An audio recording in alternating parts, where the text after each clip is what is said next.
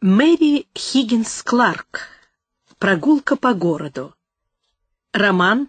Перевод с английского. Москва. Издательство «Новости». 1993 год. Дорогие друзья, эта аудиокнига выложена в свободном доступе в рамках проекта «Нигде не купишь» Клуба любителей аудиокниг. Желаем вам приятного прослушивания. Часть первая. Глава первая. Июнь 1974. Риджвуд, Нью-Джерси.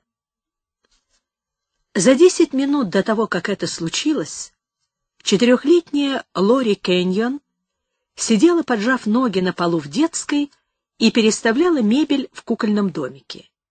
Ей уже порядком надоело играть в одиночестве и не терпелось пойти в бассейн. Из столовой доносились голоса матери и ее подруг, с которыми та училась в Нью-Йорке. Они разговаривали и смеялись. Мама за обедом обещала, что в бассейн Лори пойдет с Бет, сидевшей иногда с ней по вечерам, поскольку ее старшая двенадцатилетняя сестра Сара отправилась со своими сверстниками на день рождения. Но Бет, как только пришла, сразу засела за телефон. Лори откинула назад длинные белокурые волосы, щекотавшие ей лицо. Она уже давным-давно сходила наверх и надела свой новый розовый купальник. Может, ей стоит еще раз напомнить Бет? Бет уютно расположилась на кушетке, прижимая телефонную трубку к уху плечом. Лори потянула ее за руку. — Я уже готова. Бет раздраженно взглянула на нее. «Подожди чуть-чуть, золотце», — сказала она. «У меня очень важный разговор». И Лори услышала, как Бет шепотом добавила в трубку. «Ненавижу сидеть с детьми». Лори подошла к окну. Мимо дома медленно проезжал длинный автомобиль. Следом ехала машина, полная цветов, и еще много машин с зажженными фарами. Когда Лори видела подобную процессию, то ей казалось, что они едут на праздник. Но мама объясняла, что это похороны, и машины направляются на кладбище. Но Лори все-таки хотелось думать, что они едут на праздник, и она любила выбегать на дорогу, чтобы помахать сидевшим в машинах людям, которые иногда махали ей в ответ. Лори услышала, как Бет положила трубку и уже было собралась предложить ей пойти посмотреть на проезжавшие мимо машины, но Бет вновь взялась за телефон. «Противная Бет», — подумала про себя Лори. Она на цыпочках вышла в коридор и заглянула в столовую. Мама с подругами по-прежнему весело болтала. «Трудно поверить, что мы окончили виллу 32 года назад», — говорила мама. «Ну уж, Мэри, по тебе этого не скажешь, ведь у тебя четырехлетняя дочь, а у меня уже четырехлетняя внучка», — ответила сидевшая рядом с ней дама. «Мы все еще хоть куда», — сказал кто-то, и все дружно рассмеялись. Никто даже не обратил внимания на Лори. Они тоже противные. Лори взяла стоявшую на столе красивую музыкальную шкатулку, которую подарила ей одна из маминых подруг. Бесшумно открыв дверь, она выскочила на крыльцо, побежала по дорожке к улице и помахала по-прежнему проезжавшим мимо машинам. Лори проводила их взглядом, пока они не скрылись из виду, и вздохнула, надеясь, что процессия скоро поедет назад. Она завела музыкальную шкатулку, и оттуда раздался звук пианино и пение на востоке, на западе. «Малышка!» Лори не заметила, как неподалеку, затормозив, остановилась машина. За рулем была женщина. Сидевший возле нее мужчина вышел из машины, взял Лори на руки, и, не успев опомниться, она уже сидела между ними на переднем сиденье. От удивления Лори не могла сказать ни слова. Мужчина улыбался ей, но улыбка казалась недоброй. Распущенные волосы женщины падали на ее лицо. Мужчина был с бородой и очень волосатыми руками. Лори оказалась прижатой к нему настолько сильно, что чувствовала колечки волос на его руках. Машина поехала. Лори стиснула свою музыкальную шкатулку, теперь оттуда раздавалось по всему городу и мальчики, и девочки. «Куда мы едем?» — спросила она, вспомнив, что ей не разрешали одной ходить на дорогу. Мама могла рассердиться. Лори почувствовала, что на глаза навернулись слезы. Женщина выглядела очень раздраженной, а мужчина ответил, «По городу, малышка, по всему городу». Глава вторая. Сара торопливо шла по обочине дороги, стараясь не уронить кусочек торта, который она несла с дня рождения на бумажные тарелочки. Лори обожала шоколадную начинку, и Сара надеялась таким образом загладить свою вину, заключавшуюся в том, что она не играла с Лори, в то время как мама принимала гостей. Ей было двенадцать лет. Худенькая, длинноногая, с большими серыми глазами, вьющимися ярко-рыжими волосами и веснущатым носом, она была совершенно не похожа на своих родителей. Ни на мать, миниатюрную голубоглазую блондинку, ни на отца, который до того, как посидел, был темноволосым. Сару беспокоило, что Джон и Мэри Кэньон были намного старше родителей ее сверстников. Она всегда боялась, что они могут умереть до того, как она вырастет. Мать как-то рассказала ей, «Мы были женаты уже пятнадцать лет, и я не надеялась, что у нас будет ребенок. Но в тридцать семь я забеременела тобой, просто подарок судьбы. А еще через восемь лет родилась Лори. Это было чудом, Сара. Сара помнила, как во втором классе она спросила у сестры Кэтрин, что лучше, подарок или чудо? Самый большой подарок для человека — это чудо, — ответила ей тогда сестра Кэтрин. В тот же день Сара неожиданно расплакалась на уроке, притворившись, что у нее болит живот. Хотя Сара знала, что любимицей в доме была Лори, она все равно обожала своих родителей. В десять лет она условилась с Богом о том, что если он не даст маме с папой умереть до того, как она вырастет, то каждый вечер она будет убираться на кухне, помогать им с Лори и никогда больше не будет жевать жвачку. Она выполняла свои обещания, и Господь был пока к ней благосклонен. Невольная улыбка скользнула по ее лицу. Свернув за угол, она пошла по Твин-Оукс-Роуд и вдруг от удивления вытаращила глаза. На дорожке перед ее домом стояли две полицейские машины с зажженными огнями. Возле дома толпились соседи. Среди них были даже те, что недавно переехали сюда и с которыми Кэньона еще не успели толком познакомиться. Все выглядели какими-то грустными и испуганными и крепко держали своих детей за руки. Сара бросилась бежать к дому. Может, маме или папе плохо? На лужайке возле дома стоял Ричи Джонсон, учившийся с ней в одном классе в Маунт-Кармел. Сара поинтересовалась у Ричи, почему собралось столько народу. Он грустно посмотрел на нее и ответил, что пропала Лори. Старушка миссис Уэллон видела, как какой-то мужчина посадил ее в машину, но она не поняла, что он собирался ее похитить. Глава третья. 1974-1976. Бетлехем, Пенсильвания. Они не собирались вести ее домой. Они долго колесили по городу, а затем привезли ее куда-то в лес, в незнакомый грязный дом. Они шлепали ее, если она начинала плакать. Мужчина то и дело брал Лори на руки и начинал тискать, затем относил куда-то наверх. Она пыталась сопротивляться, но он лишь смеялся над ней.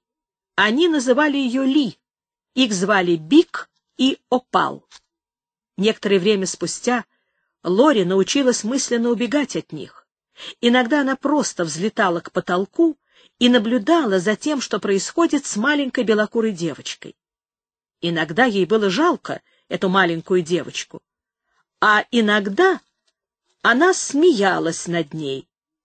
Временами Они клали ее спать одну, и тогда она представляла себе кого-нибудь, маму с папой или Сару. Но тут она снова начинала плакать, и они опять били ее. И она пыталась забыть и маму, и папу, и Сару. «Вот и хорошо», — говорил ей внутренний голос, — «забудь про них совсем». Глава четвертая.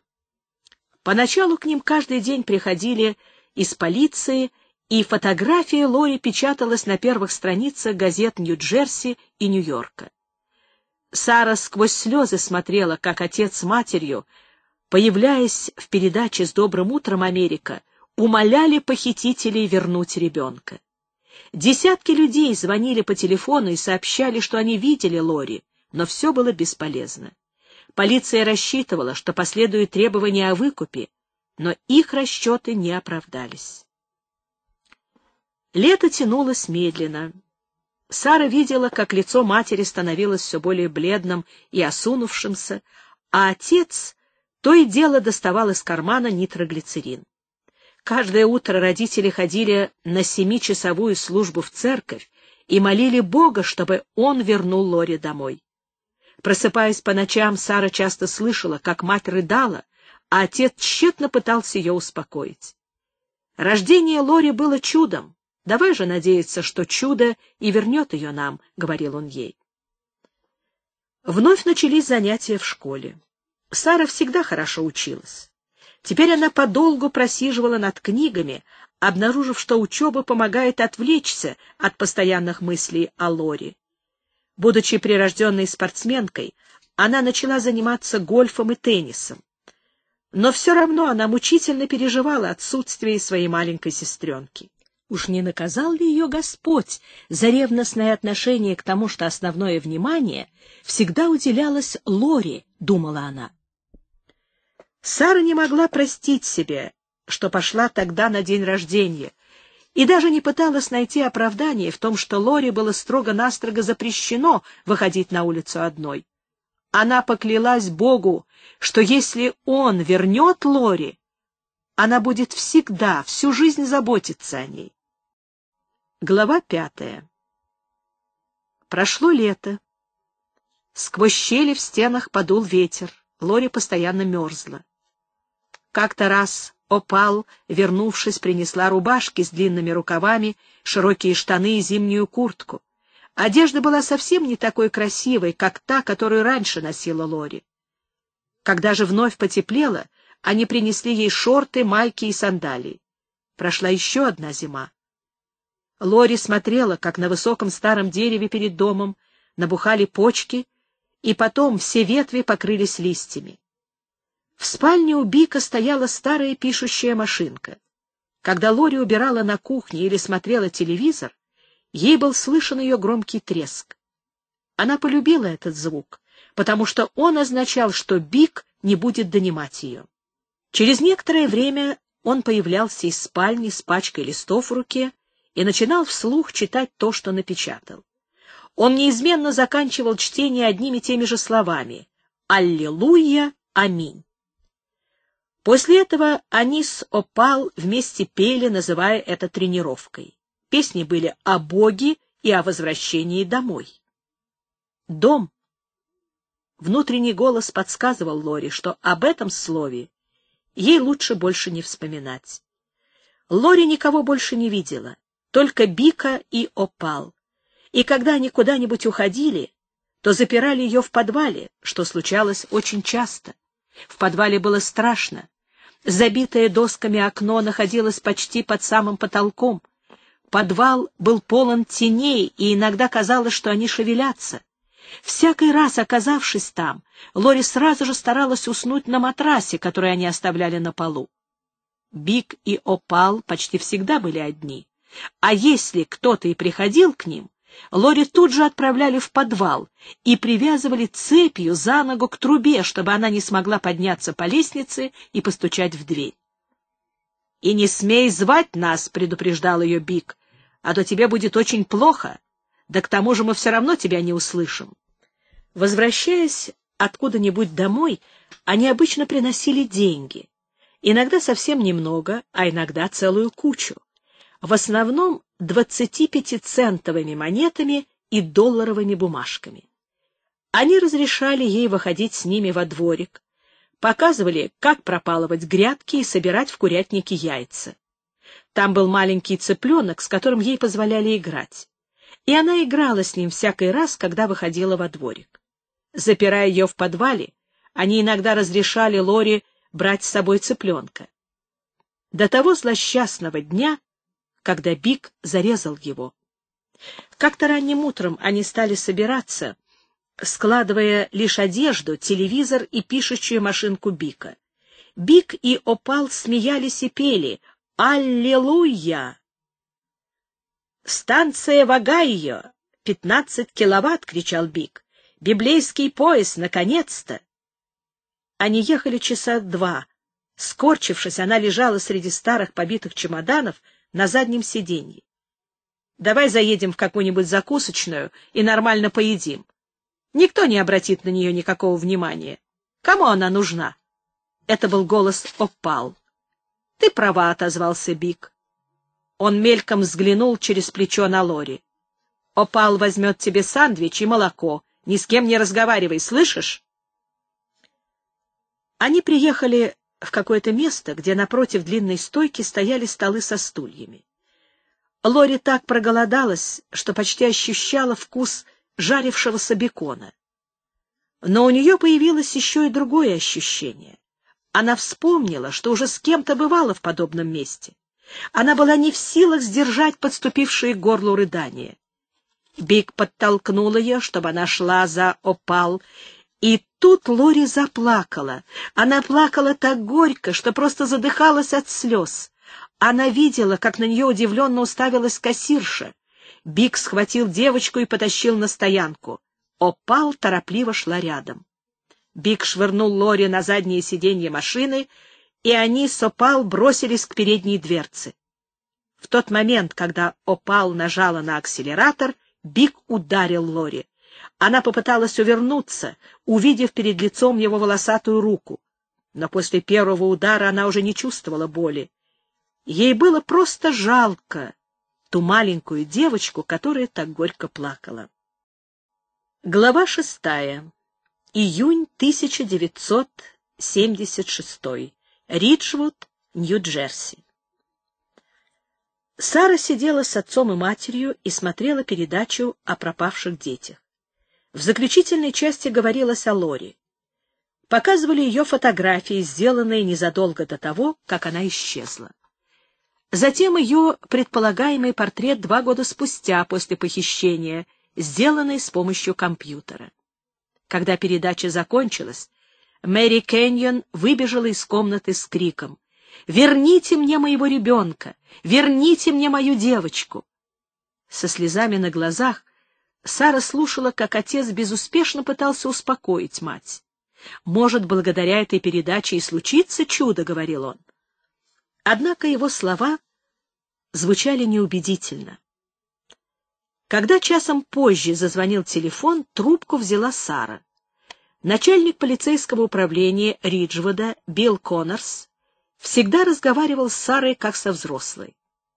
«Ну что, миленькая, Твоих родителей сильно расстроила эта передача? — спросил он. — Да. Не знаю, стоит ли их обнадеживать, но нам кое-что сообщили по телефону. Кассирша из какого-то кафе в Гаррисберге, Пенсильвания, уверяет, что сегодня днем она видела Лори. Сегодня днем? Сара почувствовала, как у нее перехватило дыхание. Ее встревожило то, что у маленькой девочки вдруг началась истерика. Но это было не похоже на каприз. Она просто задыхалась, стараясь сдерживать слезы. У Гаррисбергской полиции есть последний портрет Лори. С кем она была? С мужчиной и женщиной, похожими на хиппи. К сожалению, нам описали их весьма приблизительно. Внимание кассирши привлекла девочка, и она лишь мельком взглянула на эту парочку. Он предоставил Саре самой решить, стоит ли обнадеживать родителей этим сообщением. И она вновь условилась с Богом. Сотвори для них это чудо.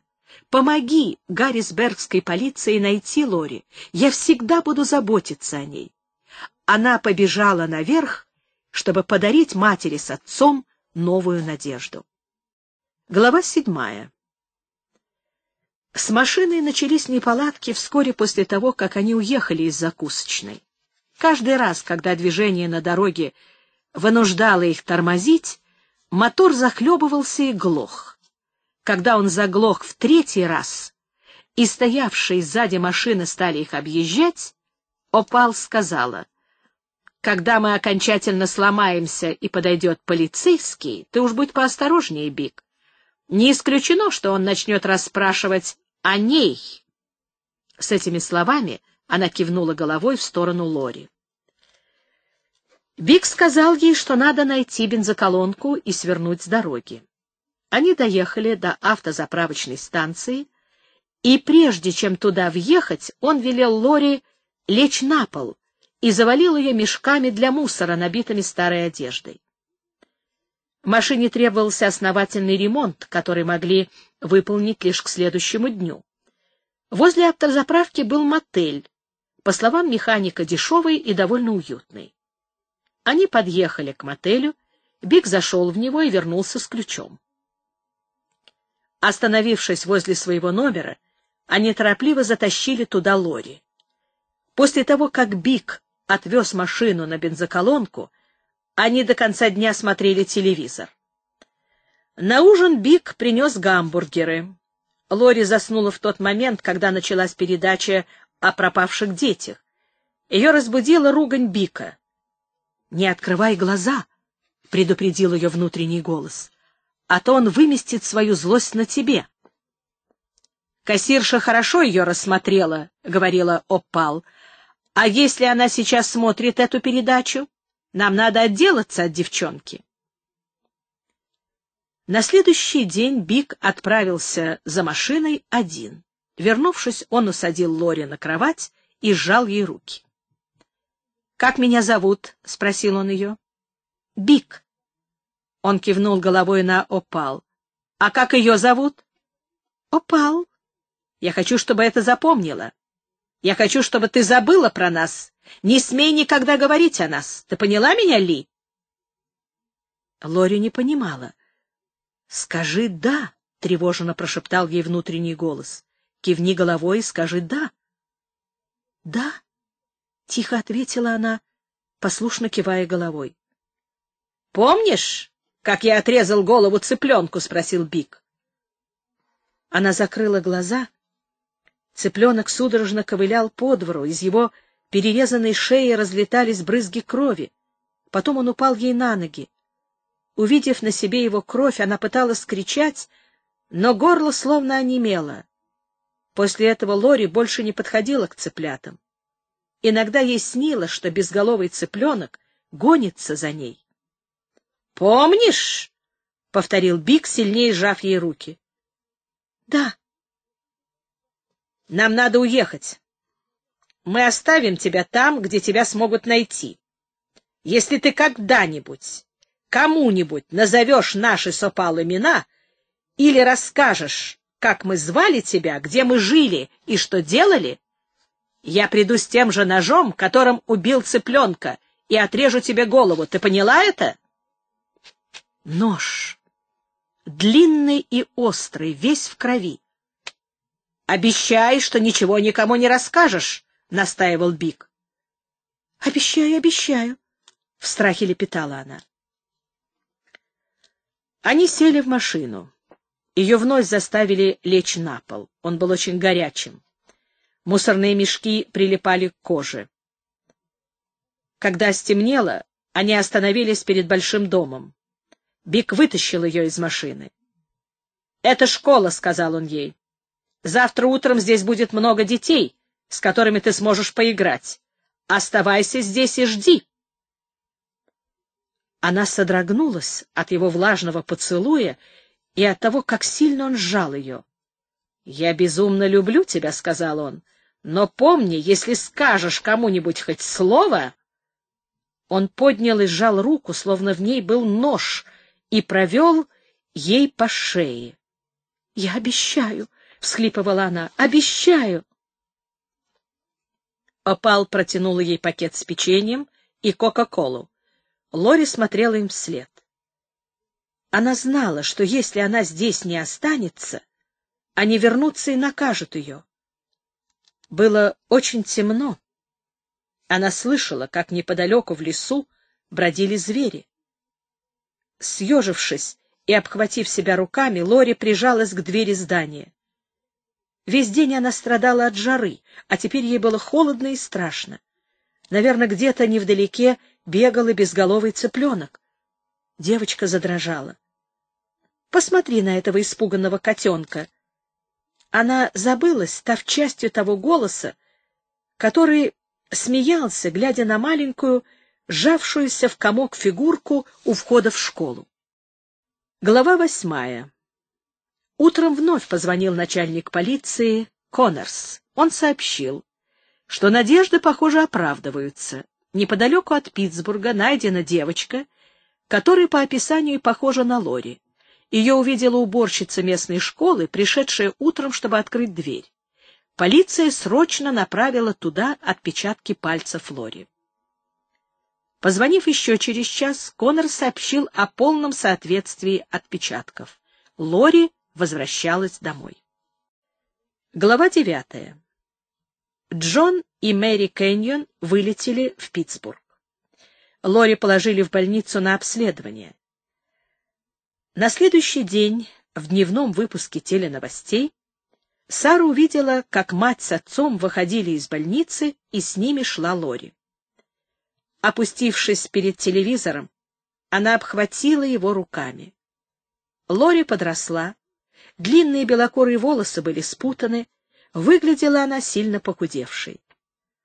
Но еще больше бросалось в глаза другое. Лори всегда была очень приветливой.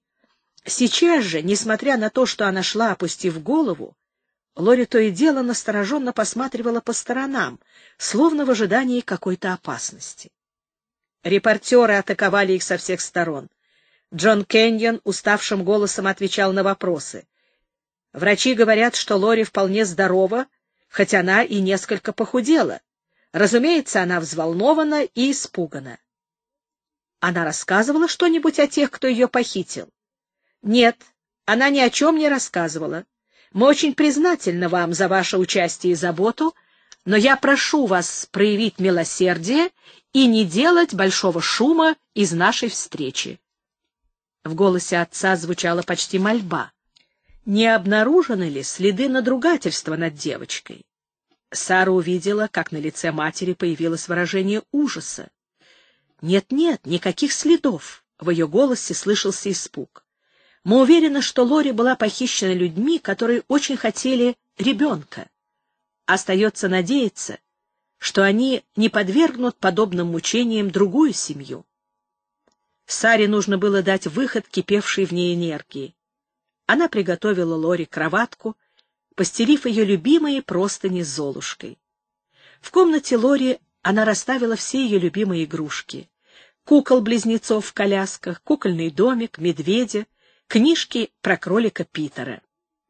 Сара съездила на велосипеде в магазин купить сыру, лапши и мясного фарша. Лори обожала лазанью. Пока Сара готовила, телефон звенел, не переставая. Ей удавалось убедить всех, кто звонил, чтобы они не приходили к ним, по крайней мере, в ближайшие несколько дней. Родители должны были приехать с Лори к шести часам. В половине шестого Поставив лазанью в духовку, салат в холодильник и накрыв стол на четверых, как и прежде, Сара побежала наверх переодеваться. Она внимательно посмотрела на себя в зеркало. Помнит ли ее Лори? За эти два года она вытянулась на три дюйма. Раньше она носила длинные волосы, сейчас же у нее была стрижка. Прежде ее фигура была абсолютно плоской, теперь, в 14 лет, у нее начала оформляться грудь. Вместо очков она носила контактные линзы. Сара вспомнила, что вечером накануне похищения Лори она была за ужином в длинной майке и потертых джинсах. Эта майка по-прежнему лежала в шкафу. Она надела ее с джинсами. Когда подъехала машина, на дорожке перед домом собрались репортеры с телекамерами. За ними толпились соседи и друзья. Все дружно зааплодировали, когда дверца машины открылась, и оттуда вышли Джон и Мэри Кэньон с Лори. Подбежав к своей маленькой сестренке, Сара встала на колени. — Лори, — нежно сказала она.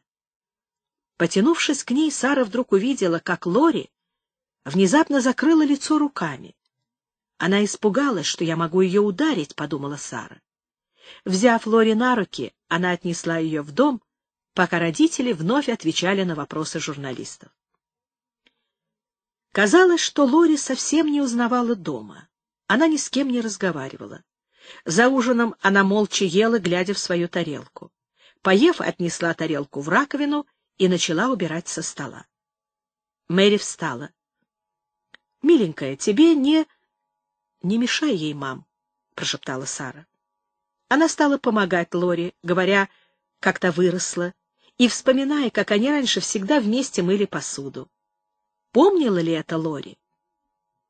Затем все они пошли в детскую, и Сара включила телевизор. Когда Мэри с Джоном попросили Лори сесть между ними, она вдруг, задрожав, отпрянула. — Она напугана, — сказала Сара. — Сделайте вид, что не обращаете на нее внимания. Глаза матери наполнились слезами, но она притворила, что увлеченно смотрит передачу. Выбрав себе укромное местечко, откуда ей было все хорошо видно, Лори села на пол, скрестив по-турецки ноги. Когда в девять часов Мэри предложила ей принять теплую ванну и лечь спать, Лори охватила паника.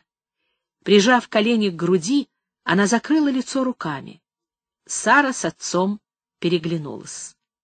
«Бедняжка», — сказал он, — «если не хочешь, можешь сейчас не ложиться». В глазах отца Сара увидела ту же беспомощность, что была в глазах матери. «Тебе просто все кажется очень незнакомым, да?» Мэри старалась скрыть свои слезы. «Лори нас боится», — пробормотала она. «Нет», — думала Сара, — «она боится идти спать, но почему?» Они не стали выключать телевизор. Лори уснула лежа на полу без четверти десять. Сара отнесла ее наверх, надела на нее ночную рубашку и положила в постель. Войдя на цыпочках в комнату, Джон и Мэри сели с обеих сторон маленькой белой постельки и, не отрываясь, смотрели на подаренное им чудо. Они даже не заметили, когда Сара выскользнула из комнаты. Лори крепко спала и долго не просыпалась. Заглянув утром в ее комнату, Сара с тихой радостью смотрела на безмятежно спавшую маленькую фигурку с разметавшимися на подушке длинными волосами. Она вновь повторила данное ею Господу обещание. «Я всегда буду заботиться о ней». Отец с матерью уже встали, оба выглядели измученными, но их лица светились радостью. «Мы все время заглядывали в комнату, чтобы убедиться, что она действительно с нами», — сказала Мэри. «Я не знаю, как бы мы пережили эти два года без тебя, Сара». Сара помогла матери приготовить любимый завтрак Лори, оладьи и бекон. Через несколько минут в комнату вбежала Лори. Ночная рубашка, которая раньше была ей до пят, теперь едва доходила до икр. Она забралась к Мэри на колени. «Мама», — с обидой в голосе сказала она, — «вчера я хотела пойти в бассейн, а Бет беспрестанно болтала по телефону». Часть вторая. Глава десятая. 12 сентября 1991 года. Риджвуд, Нью-Джерси. Во время мессы Сара краем глаза все время наблюдала за Лори. Вид двух гробов, стоявших на ступенях перед алтарем, казалось, гипнотизировал ее. Она, не отрываясь, смотрела на них уже без слез, словно не слыша ни молитв, ни музыки, ни надгробных речей. Саре приходилось брать Лори за локоть, когда нужно было встать или опуститься на колени. По окончании мессы, когда монсеньор Фишер осенил гробы крестом, Лори прошептала. «Мама, папа, простите меня. Я больше не буду выходить на улицу одна». «Лори!» — тихонько окликнула ее Сара. Лори взглянула на нее невидящими глазами, затем обернулась и удивленно посмотрела на собравшихся в церкви людей. «Так много народу!» Ее голос прозвучал по-детски робко. В завершение запели «Господь всемилостивый». Стоявшая позади собравшихся в церкви пара запела вместе со всеми поначалу тихо, но мужчина, привыкший к ведущим партиям, увлекаясь, запел громче, и вскоре его чистый баритон уже заглушал более слабый голос солиста. Все в растерянности оборачивались и с восхищением смотрели на него. Я когда-то заблудился, а теперь обрел свой дом. Душевная боль Лори вдруг усилилась леденящим душу страхом. Этот голос. Он пронзил ее слух, пронзил всю ее. «Я заблудилась», — беззвучно застонала она. «Заблудилась». Гробы стали выносить. Колеса катафалка под гробом ее матери скрипнули. Она услышала размеренные шаги носильщиков. Затем стук пишущей машинки. Был слеп, но теперь прозрел. «Нет, нет!» — истошно закричала Лори, погружаясь в спасительную темноту. На мессу пришло несколько десятков однокурсников Лори по Клинтонскому колледжу и преподаватели с факультета. Среди них был профессор английского языка Эллен Грант, который с ужасом наблюдал, как Лори потеряла сознание. Грант пользовался большой популярностью у студентов. Ему едва перевалило за сорок. Густые непослушные темно-каштановые волосы, посеребрилась седина, на несколько вытянутом лице особенно выделялись глаза, большие, темно-карие, умные и живые. Он был высоким, худощавым, одевался нарочито небрежно, и многие девушки в колледже сходили по нему с ума.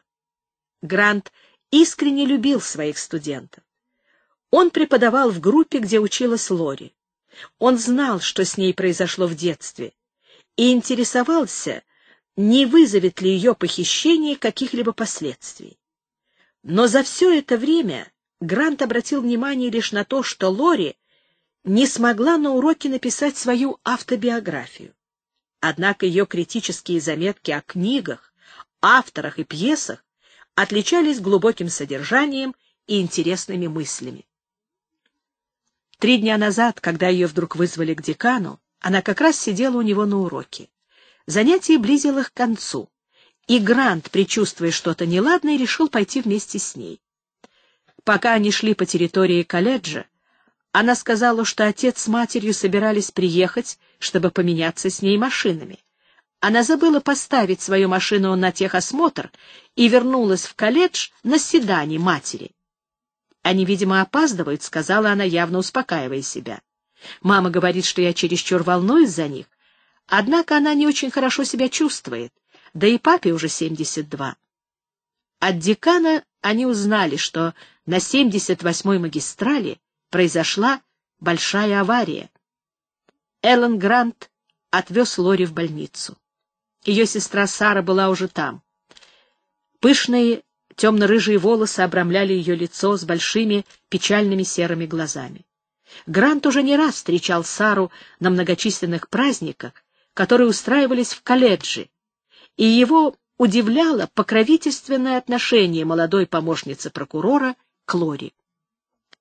Лори было достаточно лишь взглянуть на лицо сестры, чтобы понять, что родители погибли.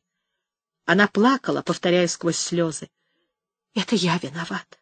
Я виновата!» И, казалось, не слышала, как Сара, тоже не в состоянии сдержать своих слез, убеждала ее не винить себя. С болью в сердце Грант наблюдал за тем, как один из священников вынес Лори из нефа церкви. Сара шла возле них. Органист заиграл последнее песнопение. Несущие гроб медленно пошли по проходу во главе с монсеньором. Грант заметил, что в переднем ряду какой-то человек пробирается вдоль скамьи. «Разрешите, разрешите, пожалуйста, я врач», — тихо, но решительно говорил он. Что-то заставило Эллона Гранта последовать за ним по проходу в маленькую комнату, куда отнесли Лори. Она лежала на двух сдвинутых стульях. Сара с белым, как мел, лицом склонилась над ней. «Позвольте». Врач взял Сару за руку. Лори пошевелилась и застонала. Он поднял ей веки и пощупал пульс. Она приходит в себя, но ее необходимо отвезти домой. Она не в состоянии ехать на кладбище. Я знаю. Эллен видел, как отчаянно Сара пыталась сохранить присутствие духа. «Сара», — сказал он. Повернувшись, Сара словно впервые заметила его. «Сара, позвольте мне отвезти Лори домой. С ней будет все в порядке». «Правда?» На какое-то мгновение Мучительная боль на лице девушки сменилась выражением благодарности. Дома остался кое-кто из соседей, они готовят еду. Лори вам доверяет, вы мне очень поможете. Я когда-то заблудился, но теперь обрел свой дом. Она видела, как рука с ножом приближается к ней. С растекающего воздух ножа капает кровь. От крови промокли ее рубашка и джинсы. Она чувствовала ее, теплую и липкую на своем лице. Что-то трепыхалось у ног.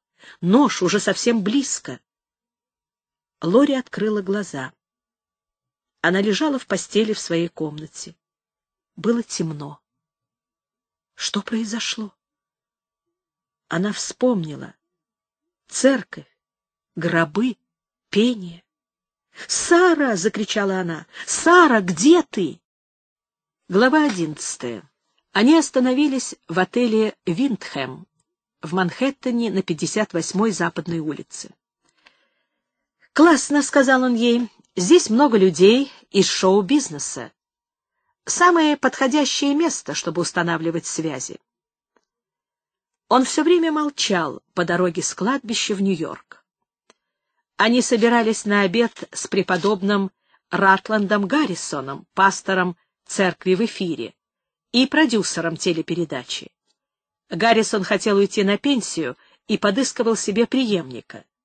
Каждую неделю вместе с ним в качестве ведущего передачи появлялся новый священник. Она наблюдала, как он сменил три костюма, прежде чем остановил свой выбор на темно-синем, с белой рубашкой и голубовато-серым галстуком. Им нужен проповедник, они его получат.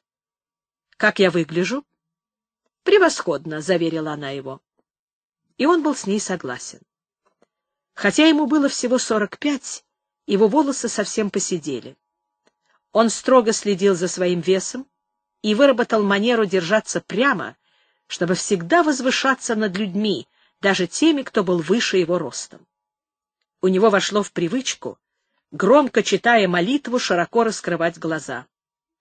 Он отверг выбранное ею платье в красно-белую клетку. Не годится для такой встречи. Слишком смахивает на Бетти Крокер. Они часто повторяли эту шутку, когда хотели произвести впечатление на прихожан, собиравшихся, чтобы послушать его в церкви. Но сейчас он совсем не шутил. Она показала ему черное узкое платье с подходящим к нему жакетом. А это? Он молча кивнул. Пойдет. Он нахмурился. И помни, я никогда не называю тебя Биком в чьем-либо присутствии. Упреждая его раздражение, сказала она. Уже давным-давно. В его глазах появился нездоровый блеск. Она хорошо знала этот взгляд и боялась его. Прошло три года с тех пор, как его в последний раз вызывали в полицию, и допрашивали в связи с тем, что какая-то белокурая девочка жаловалась на него своей матери. Ему всегда удавалось урезонивать жалобщиков так, что им потом приходилось извиняться. Однако это случалось слишком часто и не в одном городе. Этот блеск говорил о том, что он вновь теряет над собой контроль. Ли была единственной, кого он похитил. С той минуты, когда Биг впервые увидел ее с матерью в магазине, он словно потерял голову. В тот день он последовал за их машиной и потом постоянно ездил мимо их дома в надежде вновь увидеть девочку. Заключив двухнедельный контракт, они с Опал играли на гитаре и пели в одном из дешевых ночных клубов на 17-й улице в Нью-Джерси и жили в мотеле в 20 минутах езды от дома Кэньонов. Это был их последний контракт с ночным клубом. Бик уже начал петь в церкви, а позже читать проповеди в окрестностях Нью-Йорка. Его услышал владелец небольшой радиостанции в Бетлехеме, штат Пенсильвания, и пригласил вести религиозную передачу. К несчастью, по пути в Пенсильванию он настоял на том, чтобы в последний раз проехать мимо дома Кэнгенов. Ли стояла на улице совершенно одна. Он схватил ее и увез с собой, и в течение двух лет Опал постоянно жила в скрываемых страхе и ревности. Прошло пятнадцать лет с тех пор, как они оставили девочку возле школы, но Биг так и не смог забыть ее. Он хранил фотографии в своем бумажнике, и Опал иногда видела, как он смотрел на нее и гладил пальцами. В эти последние годы, по мере того, как ему все больше сопутствовал успех, его тревожила мысль о том, что в один прекрасный день к нему подойдут агенты ФБР и арестуют за похищение и надругательство над ребенком. Посмотри, как эта девочка из Калифорнии упрятала своего папу в тюрьму из-за того, что она стала посещать психиатра и вспомнила то, чего не следовало бы вспоминать, — повторял он время от времени. Они только что приехали в Нью-Йорк, когда Биг прочел в «Таймс» сообщение о гибели супругов Кэньон в дорожной аварии. И, несмотря на отчаянные попытки Опал отговорить его, они все-таки поехали на похороны. «Опал», — убеждал он ее, — «мы сейчас совсем не похожи на тех двух хиппи, которых запомнила Ли». Они действительно выглядели уже совершенно иначе. Они начали изменять свою внешность с того самого утра, когда отделались от Ли. Биг сбрил бороду и коротко подстригся. Она перекрасилась в блондинку и стала собирать волосы в аккуратный пучок. В магазине Джейси Пеппи они купили себе приличную одежду, в которой не выделялись среди массы средних американцев. На случай, если в той забегаловке нас кто-то успел рассмотреть, — говорил он. Именно тогда он и запретил Опал называть его Биком в чьем-либо присутствии, сказав, что теперь и он будет звать ее на людях настоящим именем — Карла. «Ли часто слышала наши имена в течение этих двух лет», — сказал он. «С этого момента я для всех преподобный Бобби Хокинс». Несмотря на это, когда они поднимались по ступеням церкви, она чувствовала, что он боится. В конце мессы, едва органист заиграл «Господь всемилостивый», он прошептал «Это наша песня, наша сли». Его голос звучал громче других. Они сидели на краю скамьи. Когда мимо них приносили бесчувственное тело Ли, Опал схватил его за руку, чтобы он вдруг не потянулся и не дотронулся до нее. «Я еще раз спрашиваю тебя, ты готова?» В его голосе была насмешка. Он стоял возле двери их номера. «Да». Взяв кошелек, Опал подошла к нему. Ей нужно было успокоить его. Он был как натянутая струна. Она погладила его по лицу. «Бик, милый, тебе необходимо расслабиться», — нежно сказала Опал. «Ты ведь хочешь произвести хорошее впечатление, а?»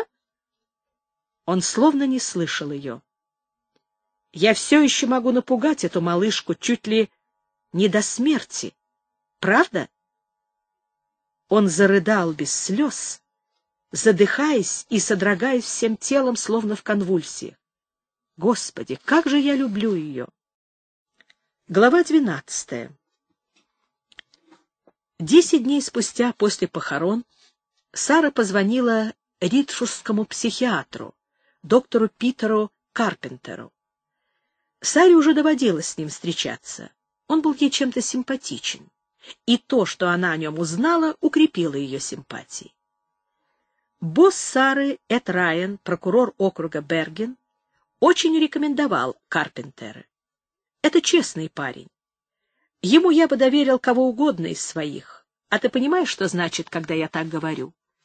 Среди этой братьи слишком много всяких шарлатанов. Она решила срочно записаться к Карпентеру на прием. «Моя сестра винит себя в том, что наши родители попали в аварию», — сказала она ему.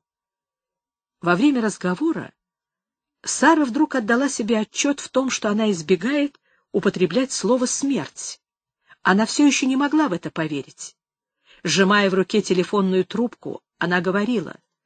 Много лет назад по ночам ее мучил один и тот же кошмар. Потом он прекратился. Сейчас он вновь регулярно повторяется.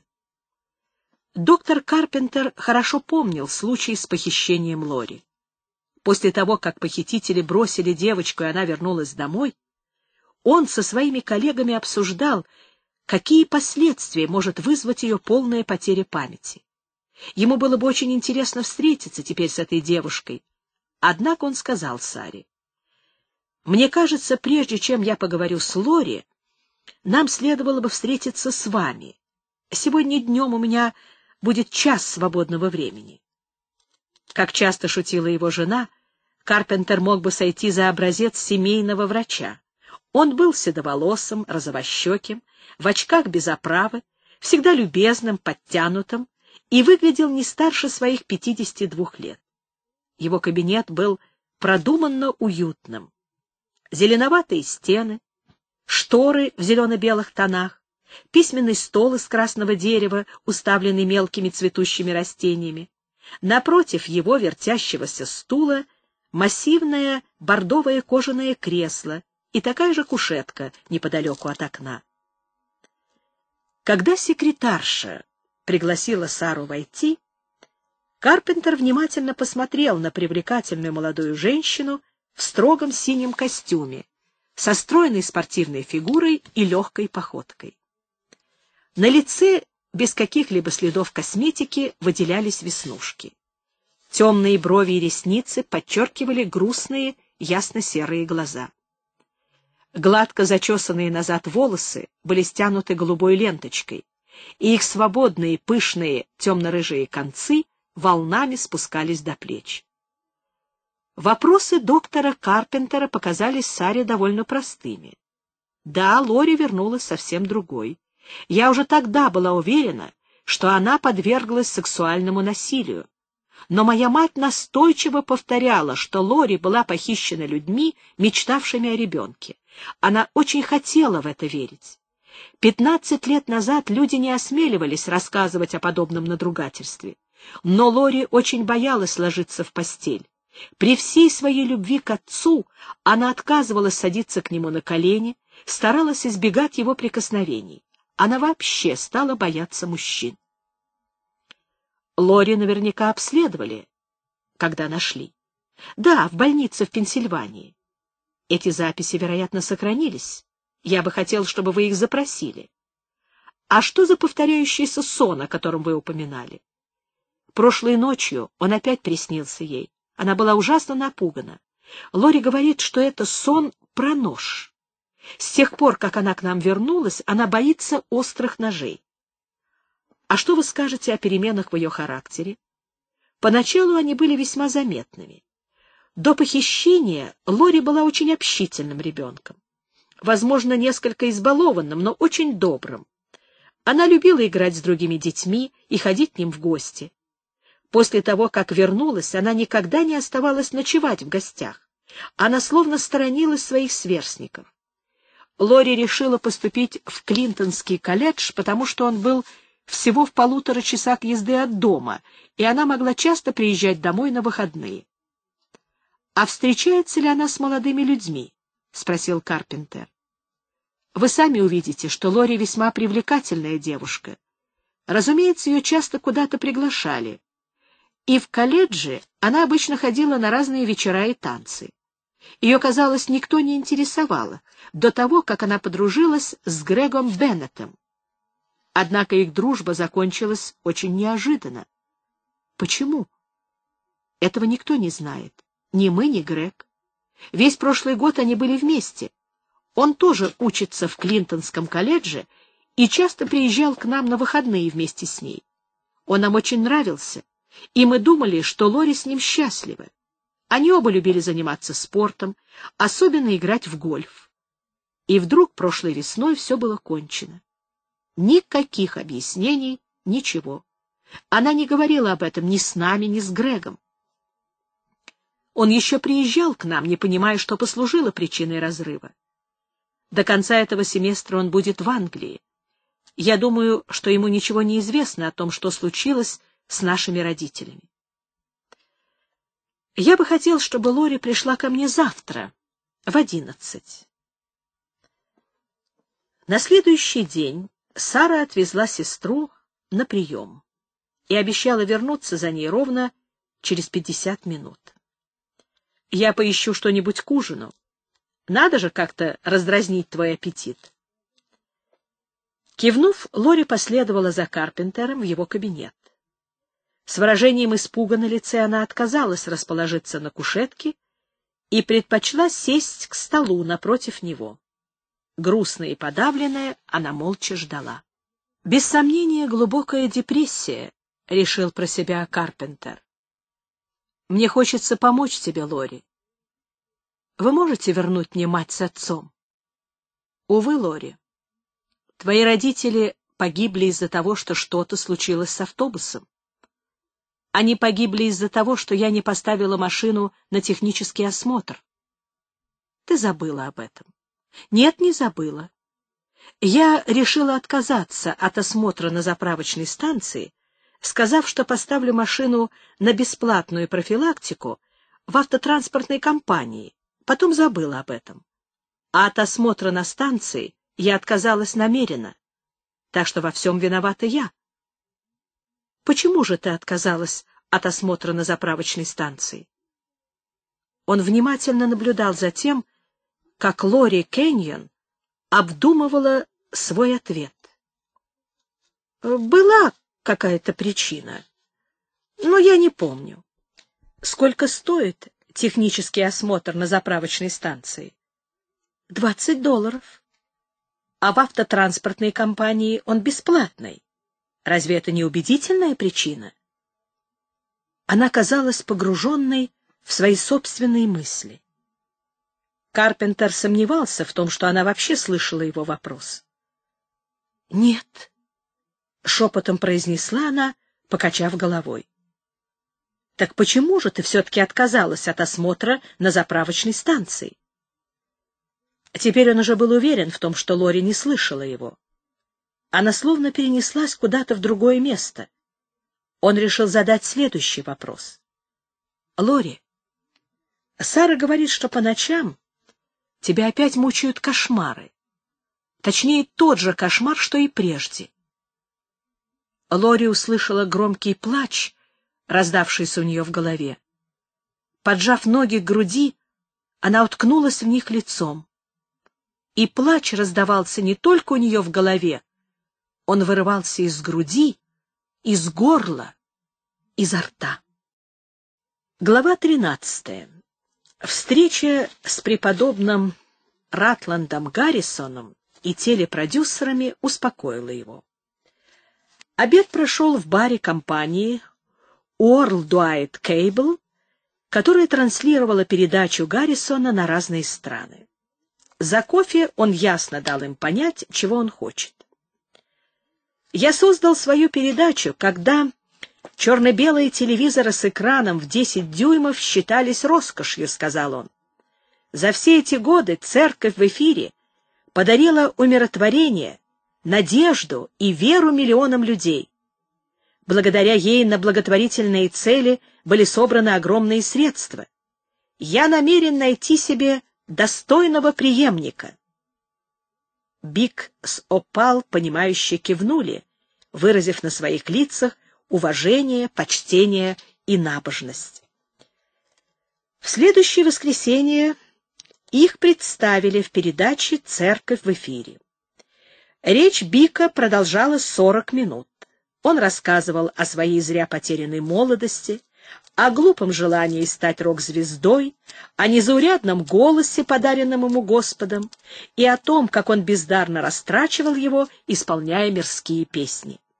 Он говорил о чуде своего перевоплощения. Поистине поняв, что означал путь в Дамаск, он прошел его по стопам Павла. Господь не спросил его, «Почему ты преследуешь меня, Савл?» Вопрос был более мучительным. Когда он, Бобби, пел в этом дешевом баре низкопробные песенки, в его душе раздался голос, услышанный сердцем. Голос прозвучал громко и грустно. Он был гневным и все прощающим. Голос спрашивал его, «Зачем ты богохульствуешь, Бобби?» И в это время он зарыдал. В конце проповеди преподобный Ратланд Гаррисон поотечески положил ему на плечо свою руку. Бобби сделал знак Карле подойти к нему. Она появилась на экране с мокрыми от слез глазами и дрожащими губами. Он представил ее зрителям. Они вместе запели завершающий гимн. После передачи в студию посыпались звонки с благодарностями преподобному Бобби Хокинсу. Через две недели его вновь пригласили на передачу. Когда они возвращались в Джорджию, Биг долго молчал. Затем он сказал. Ли учится в Клинтонском колледже в Нью-Джерси. Может, она туда вернется, а может и нет. Господь советует мне напомнить ей, что с ней будет, если она проболтается о нас. Ратланд Гаррисон выберет Бика своим преемником. Опал предчувствовал это. Гаррисон проникся к нему так же, как и все остальные. Но если Кли вернется память... Что ты собираешься с ней делать, Бик? У меня есть кое-какие соображения. Меня осенило, когда я читал молитву. Глава четырнадцатая. Когда Лори пришла на прием к доктору Карпентеру во второй раз, она сказала ему о том, что собирается вернуться в колледж в понедельник. «Так будет лучше и для меня, и для Сары», — спокойно пояснила она. «Сара так беспокоится обо мне, что не может вновь приступить к работе, а работа для нее очень много значит. Да и мне нужно сейчас вовсю заниматься, чтобы наверстать то, что я пропустила за эти три недели. Карпентон не поверил своим глазам. Лори Кэньон словно подменили. Ее скованность и подавленность, которую он наблюдал в прошлый раз, сегодня, неделю спустя, сменились деловитой энергичностью. В тот день на ней был золотистый шерстяной жакет, черные, безупречно сидевшие брюки и черная с белым шелковая блузка с золотой отделкой. Ее распущенные волосы лежали на плечах. Сегодня Лори была в джинсах и в свободном свитере. Зачесанные назад волосы держала заколка. Она казалась предельно собранной. «Тебя еще мучили кошмары, Лори?» Она пожала плечами. «Мне очень неловко за свое поведение на прошлой неделе, ведь многим снятся плохие сны. Но никто не жалуется по этому поводу направо и налево, правда?» «Неправда», — тихо возразил он. — Лори, раз ты чувствуешь себя намного лучше, почему бы тебе не лечь на кушетку и не расслабиться, и мы с тобой побеседуем? Он внимательно следил за ее реакцией, которая была такой же, как и на прошлой неделе. Но на этот раз испуг в глазах сменился вызывающим, почти презрительным выражением, появившимся на ее лице. А зачем мне ложиться? Я вполне могу разговаривать сидя. Да и к тому же и говорить нам особенно не о чем. Жизнь дважды наказывала меня. В обоих случаях я сама виновата в этом. И я это признаю. Ты считаешь себя виноватой в том, что тебя похитили, когда тебе было четыре года? Конечно. Мне не разрешали выходить одной на улицу. Точнее, даже запрещали. Мама боялась, что я случайно выскочу на дорогу. А в квартале от нас жил подросток, который гонял на машине, как сумасшедший. Мама ругала меня единственный раз, когда увидела, что я одна играю с мячиком на лужайке перед домом. Мои родители, как вам известно, тоже погибли из-за меня. Сейчас был неподходящий момент, чтобы обсуждать это. Лори, я хочу тебе помочь. По словам Сары, твои родители решили не показывать тебя психологу после похищения. Вероятно, это является одной из причин твоего нежелания поговорить со мной. Почему ты не хочешь закрыть глаза, расслабиться и довериться мне? Может, нам в дальнейшем удастся работать вместе? А вы уверены в том, что наши сеансы будут продолжаться? Я надеюсь на это. Или я ошибаюсь? Только для того, чтобы не расстраивать Сару. Я буду приезжать домой на выходные и смогу приходить к вам только по субботам. Мы договоримся? Ты регулярно приезжаешь домой на выходные? Да. Это из-за того, что тебе хочется побыть с Сарой? Ему показалось, что этот вопрос вызвал у нее волнение. Она уже не выглядела равнодушной. Лори положила ногу на ногу и, запрокинув голову, сняла заколку, державшую волосы. Карпентер смотрел, как ей на лицо упали золотистые локоны, а на губах появилась загадочная улыбка.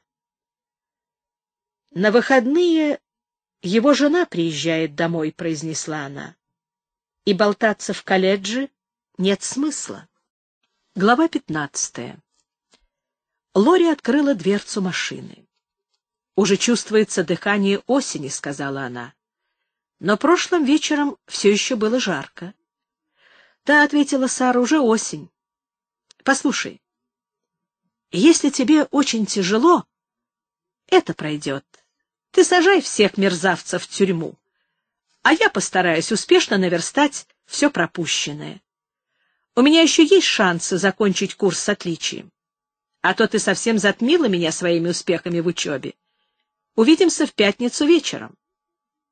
Обняв Сару, она прильнула к ней. «Сара, никогда не меняйся со мной машинами!» Сара провела рукой по волосам Лори.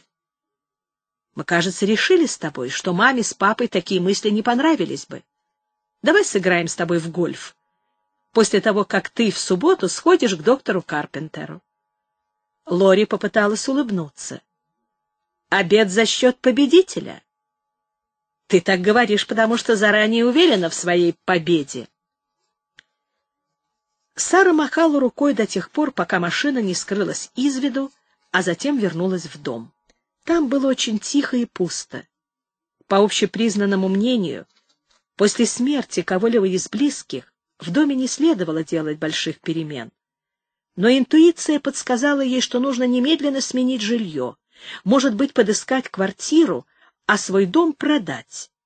Наверное, стоит позвонить доктору Карпентеру и посоветоваться с ним.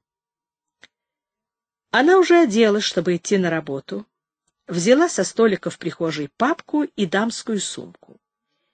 Изящный, инкрустированный мрамором столик XVIII века и висевшее над ним зеркало принадлежали еще бабушке. Трудно себе представить все эти прекрасные вещи и библиотеку редких изданий, собранную Джоном Кеньоном, в какой-то квартире с двумя спальнями. Сара гнала от себя эти мысли. Машинально взглянув в зеркало, она ужаснулась своему отражению. Смертельно бледная, под глазами темные круги, и на всегда худощавом лице теперь валили щеки, губы приобрели пепельно-серый оттенок. Она вспомнила, как мать сказала ей в то последнее утро. «Сара, почему бы тебе слегка не подкраситься? Тени выделят твои глаза». Положив сумку с папкой на столик, она поднялась наверх. Из туалетной тумбочки в ванной она достала свою косметичку, которой пользовалась крайне редко. В памяти возник образ матери в перламутрово-розовом пеньюаре, как всегда ухоженной и нежно любящей, советовавшей ей подкрасить глаза. И по щекам потекли слезы, которые она старательно сдерживала в присутствии Лори. Было так приятно вновь оказаться в своем душном кабинете с облупившимися стенами, с горами бумаг и трезвонившим телефоном. На похоронах были все ее коллеги по работе и все близкие друзья, которые в течение нескольких недель после похорон звонили ей и навещали ее. Казалось, все понимали, что сегодня ей хотелось поскорее оказаться в привычной обстановке. «Рада вновь тебя видеть», — говорила одна из коллег, обнимая Сару. «Дай знать, когда у тебя появится свободная минутка», — приветливо окликала другая. На завтрак она съела бутерброд с сыром и выпила черный кофе в служебном кафетерии. К трем часам Сара не без удовольствия отметила, что ей удалось ответить на все срочные письма истцов, свидетелей и адвокатов. В четыре часа она, не выдержав, набрала телефон комнаты Лори в колледже. На другом конце сразу же ответили. «Алло? Лори, это я. Как дела?» «Так себе. Я сходила на три занятия, а с четвертого ушла. Просто почувствовала, что устала». «Не мудрено. Ты же ночью толком и не спала. Что ты делаешь сегодня вечером?» «Хочу пораньше лечь спать. Надо дать голове отдохнуть». Хорошо, я собираюсь задержаться на работе. Дома буду около восьми. Хочешь, я позвоню тебе? Я буду рада. Сара ушла с работы в пятнадцать минут восьмого. Заехав по дороге в кафе, она купила себе гамбургер. В половине девятого позвонила Лори. Она долго не клала трубку, слушая гудки. Лори, наверное, принимает душ. А может быть, ей стало плохо? Сара продолжала держать трубку с несмолкавшими в ней отрывистыми гудками. Наконец кто-то раздраженно ответил. «Комната Лори Кеннион. Можно попросить Лори к телефону?» «Нет. Я попросила бы вас, если номер не отвечает после пяти-шести гудков, оставить меня в покое и больше не звонить. Я не могу бегать к телефону через весь коридор. Мне нужно готовиться к контрольной». «Простите, Дело в том, что Лори собиралась сегодня пораньше лечь спать. Она передумала и ушла несколько минут назад. С ней все в порядке? Это ее сестра, я немного волнуюсь за нее. Простите, я не знала, что это вы. Примите мои соболезнования в связи со смертью ваших родителей. Мне кажется, что с Лори все в порядке. Она была одета так, словно шла на свидание. Сара еще пыталась дозвониться в десять, в одиннадцать, в двенадцать, и, наконец, в час ночи в трубке раздался сонный голос Лори. «У меня все хорошо, Сара. Сразу после обеда я легла спать и проснулась только сейчас». Я звонила много раз, Лори. Какая-то девушка подошла к телефону и сказала мне, что ты куда-то ушла. Она ошиблась, Сара. Клянусь, я никуда не уходила. В голосе Лори послышался испуг. «Зачем мне тебя обманывать?» «Не знаю», — подумала Сара. «Ну что ж, раз у тебя все в порядке, ложись спать», — сказала она и медленно положила трубку. Глава шестнадцатая Доктор Карпентер почувствовал перемену в Лоре, когда она откинулась в его большом кожаном кресле. Он не предлагал ей лечь на кушетку, так как совершенно не хотел потерять тот слабый намек на появившееся к нему у нее доверие. Он спросил ее о том, как прошла неделя в колледже. «По-моему, неплохо. Все были ко мне невероятно внимательны. Мне нужно так много наверстывать, что приходится сидеть ночи напролет». Она собиралась сказать что-то еще, но передумала. Ты хотела о чем-то рассказать, Лори? Подождав, мягко спросил Карпентер.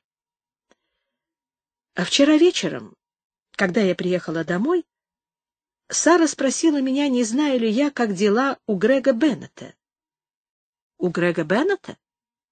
Я раньше встречалась с ним. Он очень нравился маме с папой и Саре.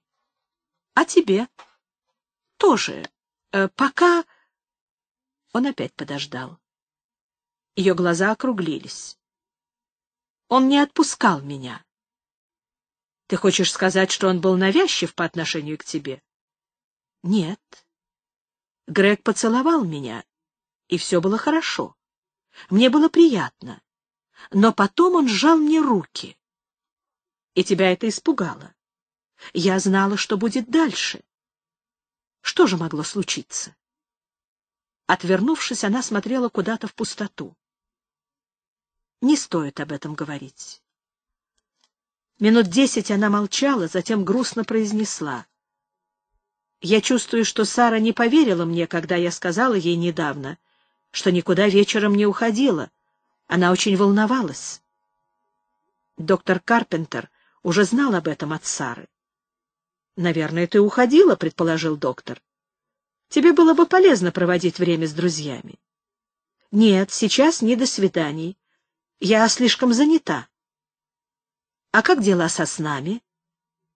«Снится сон про нож».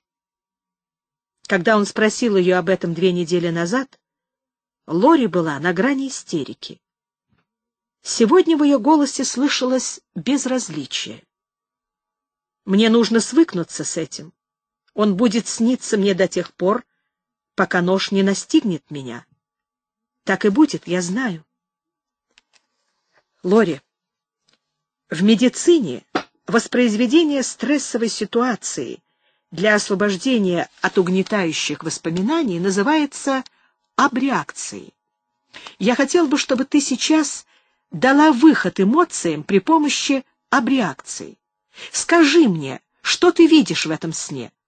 Мне кажется, ты боишься ложиться спать из-за того, что тебе может присниться этот сон, а спать необходимо всем. Ты можешь не рассказывать ничего.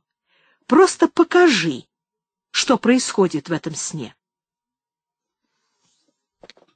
Медленно встав, Лори подняла руку. Губы растянулись в коварной улыбке. Размеренным шагом, огибая стол, она неторопливо направилась к нему. Словно сжимая воображаемый нож, она резко взмахивала рукой. Подойдя к нему почти вплотную, она остановилась. Ее поза изменилась. Лори стояла с широко раскрытыми глазами, будто прикованная к этому месту. Рукой она пыталась что-то стряхнуть с лица и волос. Посмотрев вниз, она в ужасе отпрыгнула назад.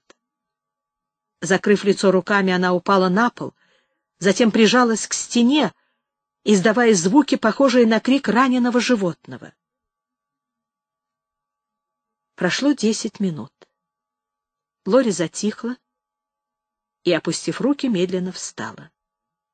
— Это тот самый сон про нож, — сказала она. — А ты есть в этом сне, Лори? — Да. — Кто же ты? Тот, кто с ножом, или тот, кто испуган? И тот, и другой. И в конце мы вместе умираем. Лори, я бы хотел поговорить с одним своим знакомым психиатром, у которого большой опыт работы с людьми, перенесшими в детстве травму. Ты дашь мне расписку в том, что я могу это сделать с твоего согласия? Да, если вам надо. Какая мне разница? Глава 17. В половине восьмого утра в понедельник доктор Джастин Доннелли быстро шел по Пятой авеню, направляясь в больницу Лемона на 69-й улице. Каждый день он старался пройти это расстояние в две мили на одну-две минуты быстрее, чем в предыдущий день, стремясь тем самым побить собственный рекорд. Однако, если не бежать, ему никак не удавалось улучшить свое же двадцатиминутное достижение. Джастин был высокого роста, и, глядя на него, казалось, что дом он неизменно ходит в ковбойских сапогах и огромной шляпе. Доннелли вырос на овцеферме в Австралии. Его вьющиеся черные волосы были постоянно взъерошены. Когда он улыбался, пышные черные усы подчеркивали белизну крепких зубов. Ярко-синие глаза с темными бровями и ресницами вызывали зависть у женщин. В начале своей медицинской карьеры он решил специализироваться на психических расстройствах, вызывающих расщепление личности.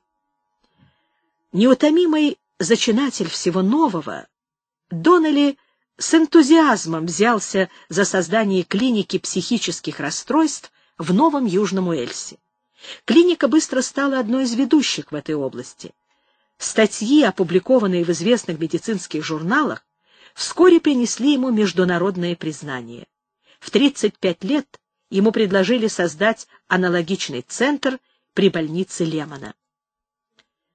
Прожив два года в Манхэттене, Джастин считал себя коренным жителем Нью-Йорка. По дороге на работу и с работы он с любовью смотрел на уже привычные ему картины. Подъезжавшие к парку экипажи с лошадьми, видневшиеся на 65-й улице зоопарк, роскошные жилые дома с привратниками на Пятой авеню. Многие приветствовали его по имени. Сейчас, когда он проходил мимо, они с улыбкой отмечали, что в октябре стоит на редкость хорошая погода. День предстоял трудный. Обычно Джастин старался оставлять время с десяти до одиннадцати на проведение консультаций со своими сотрудниками.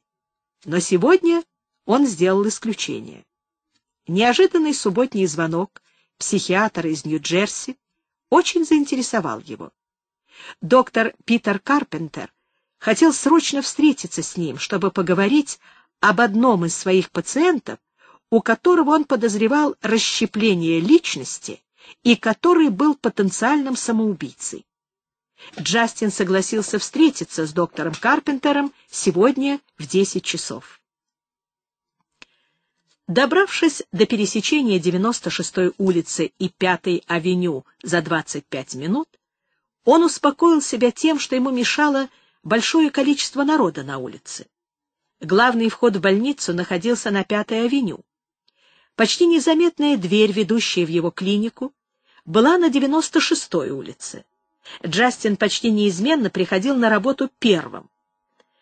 Его небольшой кабинет находился в конце коридора. Первая комната со стенами цвета слоновой кости была обставлена довольно просто. Письменный стол с вертящимся стулом, два кресла для посетителей, книжные шкафы и полки с историями болезни. Комнату оживляли лишь цветные фотографии яхт в гавани Сиднея. Дальняя комната предназначалась для приема пациентов. Она была оборудована сложной видеокамерой и магнитофоном. Его первой пациенткой была женщина 41 года из Огайо, находившаяся на лечении в течение шести лет с диагнозом шизофрении. Она оказалась среди его пациентов, когда кто-то из наблюдательных психологов выяснил, что ей слышатся разные голоса. Сейчас она выздоравливала. Доктор Карпентер пришел ровно в десять. Вежливо поблагодарив Джастина за его согласие на встречу, он тут же принялся рассказывать о Лоре. Доннелли слушал, что-то записывал и задавал кое-какие вопросы. В заключение Карпентер сказал, я не считаю себя большим специалистом в области психических расстройств, связанных с расщеплением личности. Однако мне всегда удавалось распознать их при наличии характерных признаков. Во время двух наших с ней последних встреч в голосе пациентки и манере поведения произошли заметные изменения. Я уверен, что она не отдает себе отчета в том, что как-то недавно на несколько часов выходила из своей комнаты. У меня нет сомнения в том, что она честно говорит, что все это время спала. По ночам ее часто мучает кошмар, в котором ей угрожают ножом. Однако во время абреакции она была то в роли нападавшего, то в роли жертвы. Я сделал копию ее истории болезни. Доннелли быстро просмотрел страницы, обводя и отмечая особо заинтересовавшие его места. Случай был, на его взгляд, исключительный. Любимый ребенок, похищенный в возрасте четырех лет, и брошенный похитителями в возрасте шести. Потеря памяти, она не помнила то, что произошло с ней за эти два года. Повторяющийся кошмар, утверждение сестры о детской реакции Лори на стресс, трагическая смерть родителей, в которой Лори считает виновной себя. Отложив историю болезни, он сказал — Записи, сделанные в Питтсбургской больнице, указывают на предполагаемое сексуальное насилие в течение длительного времени и содержат рекомендации о прохождении соответствующего курса лечения. Насколько я понимаю, никакого лечения не было. Ее родители наотрез отказались бы от какого бы то ни было лечения, ответил доктор Карпентер. Пятнадцать лет назад подобное поведение было типичным, сделать вид, что ничего не произошло. К тому же Кэньоны были уже довольно немолодыми родителями, заметил Доннелли. Хорошо бы убедить Лори приехать сюда, чтобы побеседовать с ней. И, на мой взгляд, чем быстрее, тем лучше. Думаю, что это будет очень непросто. Саре пришлось долго упрашивать Лори, прежде чем та согласилась прийти ко мне. Если она откажется, мне бы хотелось поговорить с ее сестрой она должна следить за любыми проявлениями аномалий и быть начеку при малейшем намеке на самоубийство. Оба психиатра вместе подошли к двери. В приемной находилась темноволосая девочка-подросток, грустно смотревшая в окно с руками, перевязанными бинтами. «Вам следует отнестись к этому со всей серьезностью», — тихо сказал Доннелли пациенты, перенесшие в детстве травму, весьма склонны к самоубийству. Глава 18. Когда в тот вечер Сара вернулась с работы домой, почта аккуратненькой стопкой лежала на столике в прихожей. Софи, уже давно работавшая у них горничной и приходившая ежедневно после похорон предложила Саре сократить количество своих приходов до двух раз в неделю. «Я не нужна вам чаще, Сара. К тому же я уже не так молода». Понедельник был одним из тех дней, когда она приходила, поэтому почта была разобрана, в доме стоял легкий запах политуры, шторы были задернуты, и неяркий свет ламп мягко освещал комнаты на первом этаже. Возвращение в пустой дом было для Сары самым тягостным моментом. Когда родители были живы, они всегда ждали ее прихода, чтобы до обеда посидеть с ней за коктейлем. Закусив губу, Сара пыталась отделаться от воспоминаний. Сверху лежало письмо из Англии. Открывая конверт, она уже знала, что оно было от Грега Беннета. Пробежав его глазами, она перечитала письмо уже внимательнее. Грег только что узнал об их трагедии и очень трогательно выражал свои соболезнования. Он писал о своем теплом отношении к Джону и Мэри Кэньон, о том, как он любил бывать у них, и о том, что он понимает, как должно быть тяжело сейчас им с Лори. Ее встревожил последний абзац письма. «Сара, я разговаривал с Лори по телефону. Ее голос показался мне очень подавленным. Потом она вскрикнула что-то вроде «Нет, нет, не буду» и повесила трубку. Я очень беспокоюсь за нее. Она такая ранимая. Я знаю, что ты заботишься о ней, но будь осторожна. В январе я возвращаюсь в Клинтон и хотел бы встретиться с тобой. Поцелуй за меня девочку. Любящий вас Грег. Дрожащими руками Сара отнесла почту в библиотеку. Завтра она позвонит доктору Карпентеру и прочтет ему это. Она знала, что он прописал Лори антидепрессанты, но у Сары не было абсолютно никакой уверенности в том, что она их принимает. Доктор Карпентер уже звонил ей в ее отсутствие и оставил свой домашний телефон. Дозвонившись до доктора, она рассказала о письме Грега и, затаив от страха дыхание, выслушала подробный рассказ о том, зачем он встречался с доктором Джастином Доннелли в Нью-Йорке и почему Саре тоже было необходимо увидеться с ним как можно скорее. Он дал ей номер приемной Доннелли. С трудом сдерживая волнение и стараясь говорить как можно спокойнее, она дважды повторила оператору свой номер телефона. Софи приготовила жареную курицу и салат. Но когда Сара попробовала есть, еда застревала у нее в горле. Она только сварила кофе, когда позвонил доктор Доннелли. Несмотря на свою загруженность, он согласился встретиться с ней завтра в шесть вечера. Повесив трубку, она еще раз перечитала письмо Грега и, охваченная отчаянной тревогой, набрала номер Лори. Он не отвечал. Сара продолжала звонить каждые полчаса, пока, наконец, в одиннадцать часов на другом конце не взяли трубку. «Алло?» Голос Лори казался довольно бодрым. Они поболтали несколько минут, и Лори сказала. «Как тебе это нравится?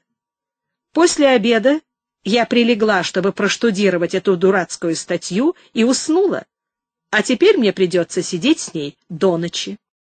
Глава 19. В понедельник в 11 часов вечера профессор Эллен Грант лег на кровать и включил стоявшую на тумбочке лампу. Несмотря на слегка приоткрытое длинное окно спальни, в комнате было не так прохладно, как ему хотелось бы.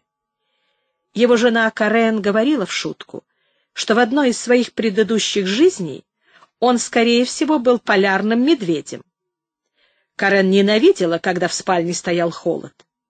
Теперь она не так часто здесь бывает, чтобы шутить на эту тему. Подумал он и, откинув одеяло, свесил ноги с кровати и встал на ковер. Последние три года Карен работала в бюро путешествий гостиницы «Мэдисон Армс» в Манхэттене. Сначала она оставалась ночевать в Нью-Йорке лишь изредка, Затем все чаще и чаще она звонила ему днем по телефону и говорила, «Милый, здесь так много работы, у меня просто горы бумаг. Ты сможешь сам позаботиться о себе?» Он уже заботился о себе сам в течение 34 лет, до того, как они познакомились с Карен в турпоездке по Италии шесть лет назад. И вернуть утраченные навыки оказалось делом совсем несложным. Теперь Карен почти всю неделю жила в гостинице, приезжая домой лишь на выходные. Мягко ступая по ковру, он пересек комнату и широко открыл окно. Струя ворвавшегося холодного воздуха всколыхнула шторы. Он уже было поспешил к кровати, но, передумав, направился в коридор. Ложиться было бесполезно, спать ему не хотелось. Среди почты, которую ему принесли на работу, было очередное идиотское письмо. Что это, черт возьми, за Леона? Среди его студенток нет и не было ни одной с таким именем. У Гранта был достаточно просторный дом. Эллен купил его еще до того, как они с Карен поженились. Какое-то время ей нравилось заниматься наведением порядка, покупкой новой мебели и перестановками, но постепенно квартира вновь приобретала свой изначальный холостяцкий вид. Почесав голову и подтянув пижамные штаны, которые неизменно болтались у него на бедрах, Грант прошел по коридору мимо спален для гостей, через гостиную, мимо кухни и столовой в свой кабинет. Он включил верхний свет. Найдя ключ от ящика письменного стола, он открыл его, достал оттуда письма и начал их перечитывать. Первое пришло две недели назад. Дорогой Эллен, я никак не могу забыть те чудесные часы, что мы провели вместе прошлой ночью. Трудно поверить, что мы полюбили друг друга совсем недавно. Может, потому что другого времени для нас и не существовало, ведь так? Ты не представляешь, чего мне стоит сдержаться и не закричать на весь город, как я люблю тебя. Я знаю, что ты чувствуешь то же самое. Нам приходится скрывать от всех, что мы значим друг для друга. Я понимаю это. Просто люби меня и думай обо мне, как сейчас. Леона. Все письма были в таком же духе. Они приходили одно за другим через день, и в каждом говорилось о каких-то жарких любовных сценах, происходивших то в его кабинете, то у него дома. Он провел здесь довольно много семинаров со студентами, так что многие знали его домашнюю обстановку. В письмах фигурировало старое кожаное кресло, стоявшее в его кабинете. Но еще ни разу он не приглашал студенток поодиночке. Эллен был не настолько глуп. Грант внимательно изучал письма. Совершенно очевидно, что они были напечатаны на старой пишущей машинке. Буквы О и В плохо пропечатывались. Просмотрев работы своих студенток, он пришел к выводу, что никто из них такой машинкой не пользовался. Неразборчивая подпись тоже была ему незнакома. Его вновь стали терзать сомнения, стоит ли показывать письма Карен и руководству колледжа. Трудно было предсказать, какой будет реакция Карен. Он боялся огорчить ее, не хотел, чтобы она оставила работу и сидела дома. Несколько лет назад он, может, был бы и не против, но не сейчас. Надо было хорошо подумать, прежде чем принять решение. Сказать руководству? Он расскажет о письмах декану, как только узнает, кто их ему посылал.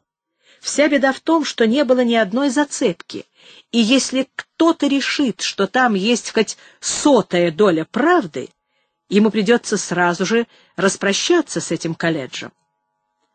Он вновь перечитал письма, обращая внимание на стиль, фразы, выражения, которые могли бы навести его на мысль о какой-нибудь из студенток. Ничего. В конце концов он положил письма в ящик, запер его, потянулся и понял, что он смертельно устал и продрог. Одно дело спать в холодной комнате под теплыми одеялами, а другое — сидеть на сквозняке в тонкой пижаме. Откуда же, черт возьми, взялся этот сквозняк? В отличие от него, Карен всегда задергивала шторы, когда была дома. Он вдруг понял, что стеклянная дверь, ведущая из кабинета в сад, была немного приоткрыта. Дверь была тяжелой и плохо задвигалась. Вероятно, когда в последний раз он выходил, то плохо закрыл ее. К тому же еще этот чертов замок. Он частенько не закрывался. Подойдя к двери, Эллен задвинул ее и, щелкнув замком, не потрудился проверить, закрылся ли он. Затем он выключил свет и вернулся в постель. Свернувшись под одеялом, в теперь уже достаточно холодной спальне, он закрыл глаза и вскоре уснул. Даже в своих самых невероятных фантазиях Грант не мог представить, что всего полчаса назад худенькая фигурка с длинными белокурыми волосами сидела, свернувшись в его коричневом кожаном кресле, и выскользнула из кабинета, едва заслышав звук приближающихся шагов. Глава двадцатая. 58-летний частный детектив Дэнэл О'Тул был известен в Нью-Джерси как Денни, брачный сыщик. За внешностью простодушного любителя выпить скрывался педантичный и весьма осмотрительный работник, когда дело касалось сбора нужной информации. Дэнни уже привык, что люди, нанимавшие его для проверки своих подозрений относительно неверности жен или мужей, скрывали свои настоящие имена. Это его не волновало. Пока клиенты исправно выплачивали ему авансы и последующие вознаграждения, они могли называть себя, как им заблагорассудится. Однако он был несколько удивлен, когда женщина, назвавшаяся Джейн Грейвс, позвонила ему во вторник в офис и попросила понаблюдать за сестрами Кэньон, намекнув на то, что в этом заинтересована страховая компания, которая должна была выплачивать им страховку.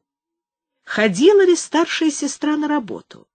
Вернулась ли младшая сестра в колледж для продолжения учебы? Часто ли она бывала дома? Как сестры реагировали на смерть родителей? Были ли у них признаки нервного потрясения?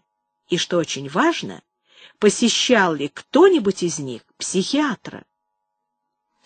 Дэнни это показалось подозрительным. Он несколько раз видел Сару Кэньон в суде. Гибель ее родителей произошла в результате неисправности тормозов, летевшего на большой скорости автобуса. Вполне возможно, что автобусной компании был предъявлен иск. Однако страховые агентства обычно пользовались услугами своих детективов. Впрочем, работа есть работа. К тому же экономический спад не способствовал увеличению количества разводов. Когда с деньгами туго, не до разводов.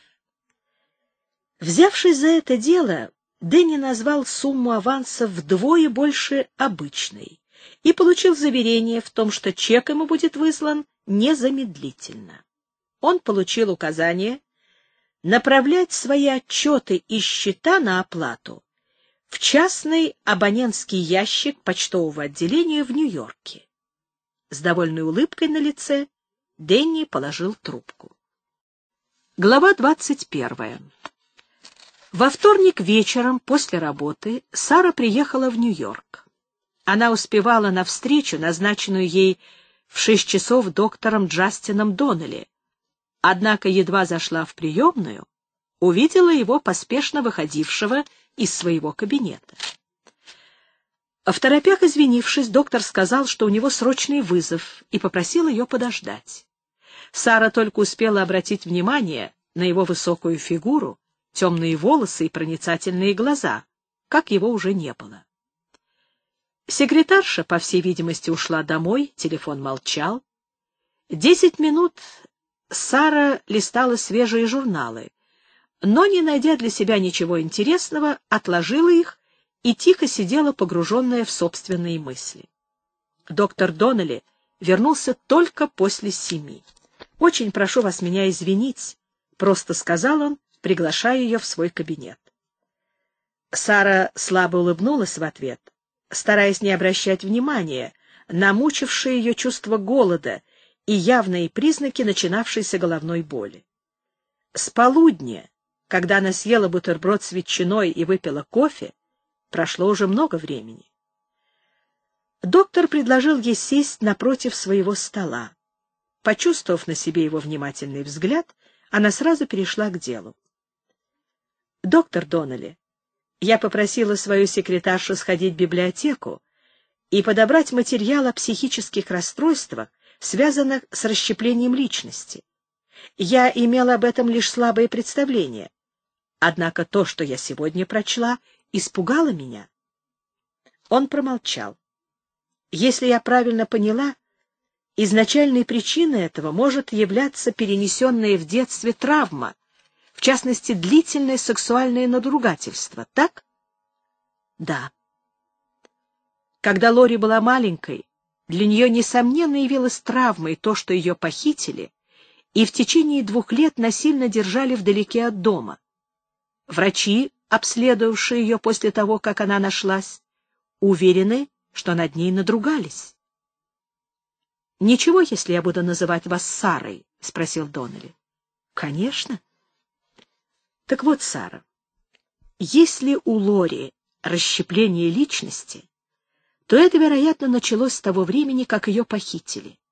Если предположить, что над ней надругались, это могло быть для нее настолько ужасным потрясением, что такое маленькое человеческое существо не могло постичь и вынести происходившего с ней. Тогда-то и произошло расщепление ее личности. Лори, маленькая девочка, психологически пыталась убежать от боли и страха, и другие личности помогали ей в этом. Они хранят память о тех годах. Похоже, что до настоящего времени они не напоминали о себе. Насколько я понимаю, после того, как Лори в шесть лет вернулась домой, она постепенно вновь стала сама собой, и лишь кошмарный сон напоминал о том времени. Теперь смерть родителей причинила ей новую сильную травму, и доктор Карпентер отметил явные изменения ее личности во время их последних бесед. Он поспешил обратиться ко мне, опасаясь, что у нее может быть склонность к самоубийству. Этого он мне не говорил. Сара почувствовала, как у нее пересохло во рту.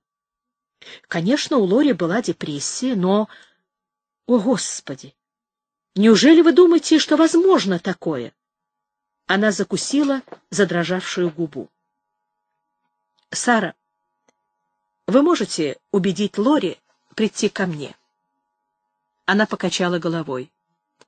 Я едва смогла убедить ее пойти к доктору Карпентеру. Наши родители были чудесными людьми, но они абсолютно не признавали психиатрию. Мама часто повторяла слова одного из ее бывших учителей. Он делил людей на три категории. Тех, что идут к врачам, когда им плохо, тех, которые изливают свои беды друзьям или первому встречному, и тех, кто сам справляется со своими проблемами. Учитель утверждал, что процент выздоровлений во всех трех категориях абсолютно одинаков. И Лори с детства слышала это. Джастин Доннелли улыбнулся. «Не думаю, что это слишком распространенное мнение». «Я понимаю, что Лори требуется помощь специалиста», — сказала Сара. «Проблема в том, что она не хочет быть откровенной с доктором Карпентером. Она словно боится, что он что-то узнает о ней. Тогда, по крайней мере, нужно досконально изучить все, что влияет на нее. Я перечитал историю болезни и кое-что отметил для себя. Восемь часов, глядя на измученное лицо Сары, доктор Доннелли сказал. «Полагаю, что на сегодня хватит. Сара, следите за малейшим намеком на самоубийство, каким бы незначительным он вам не показался и немедленно сообщите об этом доктору Карпентеру или мне. Буду с вами предельно откровенен. Мне бы хотелось быть в курсе, что происходит с Лори. Я занимаюсь изучением расстройств, связанных с расщеплением личности, и нам нечасто попадаются пациенты с начальной стадией проявления признаков подобных расстройств. Я побеседую с доктором Карпентером после нескольких очередных встреч Лори с ним. Если не последует никаких кардинальных изменений, мне кажется, я смогу больше узнать от вас, чем от Лори. Будьте внимательны. Старайтесь ничего не упускать из виду. Помедлив, Сара спросила. — Доктор, не значит ли это, что пока Лори не вспомнит о тех злосчастных годах, она окончательно не выздоровеет? Приведу вам пример. Моя мать как-то сломала ноготь до мяса, и в рану попала инфекция. Через несколько дней палец распух, и появилась дергающая боль. Она продолжала заниматься самолечением, так как боялась, что ей будут вскрывать нарыв. Когда мать, наконец, решилась обратиться к врачу, краснота уже распространилась вверх по руке, и возникла угроза общего заражения крови. Вот видите, из страха перед болью она старалась не замечать предупреждающих симптомов. Вы хотите сказать, что у Лори на лицо симптомы психического расстройства? Да. Они вместе прошли по длинному коридору к двери. Дежурный охранник выпустил их на улицу. Ветра не было, но в вечернем воздухе чувствовалась октябрьская прохлада. Сара стала прощаться. «Ваша машина рядом?» — спросил Доннелли. «Да, просто невероятно, но мне удалось поставить машину здесь неподалеку». Он проводил ее до машины. «Звоните». Какой приятный человек, — думала Сара, отъезжая от стоянки и пытаясь разобраться в собственных чувствах. Теперь она испытывала больше беспокойства за Лори, чем до встречи с доктором Доннелли. Однако вместе с тем она чувствовала, что ей есть кому обратиться за помощью. Она пересекла 69-ю улицу и парк-авеню, направляясь к проспекту Рузвельта. Доехав до Лексингтон-авеню, она машинально повернула направо и поехала к центру. Сара просто умирала с голоду, а ресторан Николас был всего в нескольких кварталах. Через десять минут она уже садилась за маленький столик. «Сара, как приятно вас видеть вновь!» — приветствовал ее Лу, бессменный официант Николаса. В ресторанчике было, как всегда, оживленно, и при виде аппетитно дымящихся макарон, выносимых из кухни, у Сары поднялось настроение. «Знаешь, что бы я сейчас съела, Лу? Спаржу с уксусом, макароны под белым соусом. Пилигрина, бокал вина, — выпалил он. Ты угадал. Она достала из плетеной хлебницы теплую хрустящую булочку. Десять минут спустя, после того, как принесли спаржу, кто-то занял столик слева от нее. Она услышала знакомый голос. «Отлично, Лу, спасибо, я страшно голоден». Подняв голову, Сара встретилась глазами с доктором Доннелли. Удивленное выражение его лица сменилось приветливой улыбкой. Глава двадцать вторая. С самого детства 78-летний Ратланд Гаррисон знал, что ему было суждено стать священником. В 1947 году, вдохновленный неограниченными возможностями телевидения, он убедил нью-йоркскую телестанцию «Дюмон» предоставить ему утреннее время по воскресеньям для часовой передачи «Церковь в эфире». С тех пор он неизменно читал проповеди по телевидению. Теперь у него начало сдавать сердце, и врач настоятельно рекомендовал ему уйти на пенсию. Того, что сделали вы, преподобный Гаррисон, хватило бы на дюжину человек, — сказал он. Благодаря вашим усилиям построены религиозные колледж, больницы, лечебницы, дома престарелых.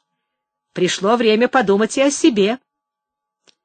Гаррисону было известно лучше других, как огромные средства, которые могли бы быть потрачены на добрые дела, частенько оседали в бездонных карманах нечестивцев, и он вовсе не собирался отдавать свою церковь в руки таких людей. К тому же Гаррисон понимал, что сам характер этой телевизионной службы требовал от проповедника умения не только зажечь и повести верующих за собой, но и с чувством страстно прочесть проповедь. Нам нужно подобрать человека, не лишенного артистизма, но не актера, объяснял Гаррисон на собрании Совета Церкви в эфире. Тем не менее, в конце октября, после того, как преподобный Бобби Хокинс в третий раз выступил в передаче, Совет проголосовал за предоставление кафедры ему. Гаррисон имел право налагать вето на решение Совета. «Я не уверен в этом человеке», — сердито сказал он членам Совета. «Что-то настораживает меня в нем. Не следует торопиться с решением». «В нем есть что-то от Мессии», — возразил один из собравшихся. «Сам Спаситель предостерегал нас от лжепророков».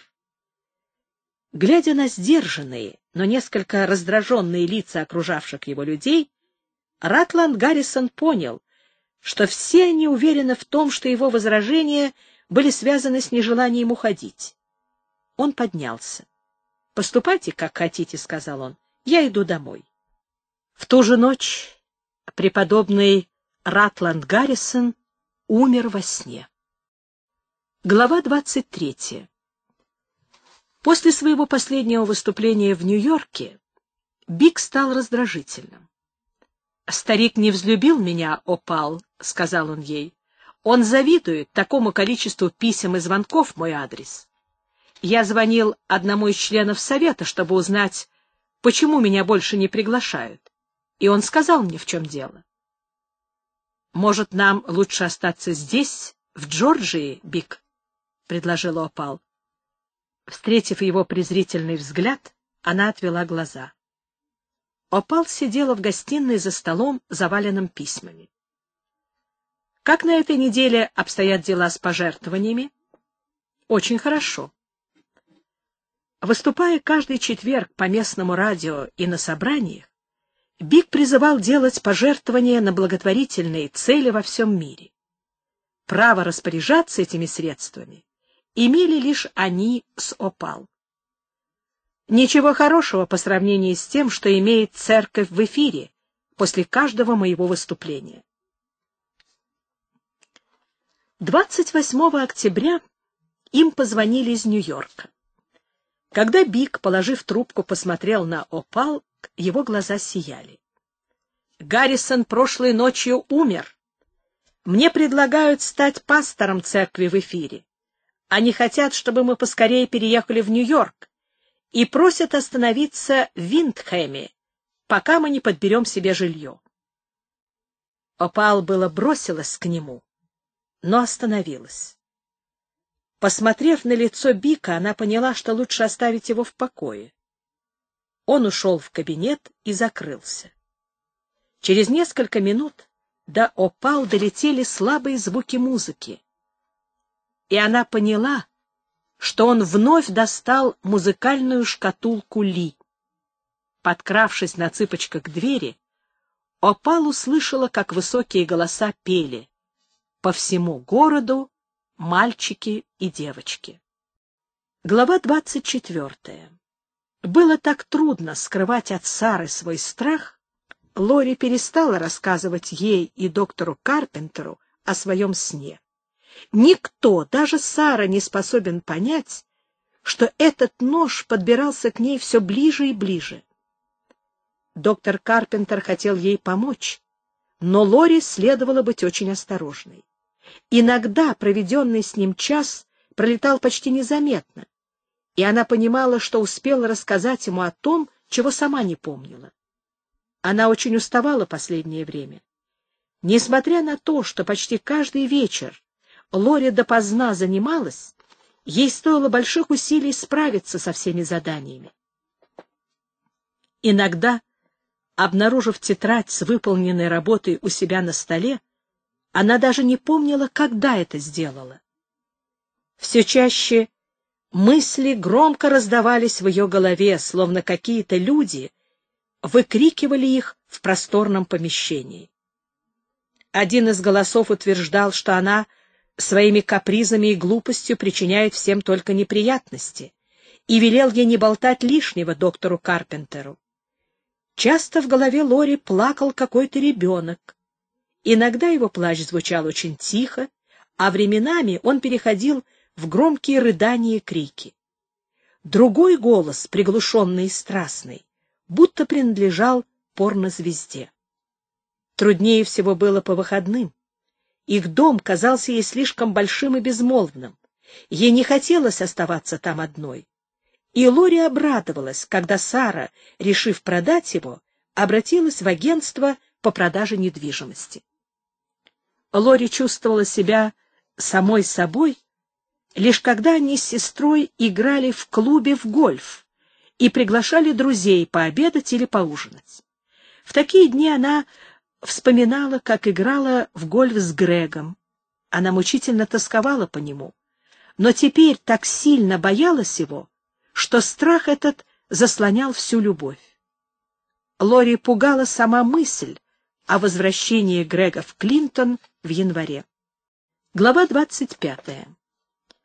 Уже во время разговора с доктором Карпентером Джастин Доннелли понял, что Сара — отличалась весьма незаурядной для молодой женщины стойкостью. Однако он не ожидал, что при встрече она произведет на него такое яркое впечатление. В тот первый вечер их знакомства Сара сидела напротив него, очаровательная и полное достоинство, и лишь в ее глазах можно было прочесть ту боль и тревогу, которую она испытывала. Ее неброский, но дорогой темно-синий твидовый костюм — напомнил ему о том, что во время траура считалось уместным носить именно приглушенные тона. На Доннелли также произвело впечатление, что Сара, узнав о предполагаемом диагнозе, поспешила выяснить все про это психическое расстройство еще до встречи с ним. Он был поражен, насколько глубоко она понимала, как Лоре нужна поддержка. Когда он провожал Сару до машины, у него возникло желание пригласить ее пообедать. Но, придя в ресторанчик «Николас», Джастин встретил ее там. Похоже, она тоже была рада видеть его, и получилось вполне естественно, что он подсел к ней, уступив столик, вошедший вслед за ним паре. Теперь уже тон их разговора задавала Сара. Она с улыбкой подвинула ему корзинку с булочками. — Вы, очевидно, как и я, пообедали на ходу, — начала она. — Я занимаюсь делом об убийстве и целый день опрашивала свидетелей.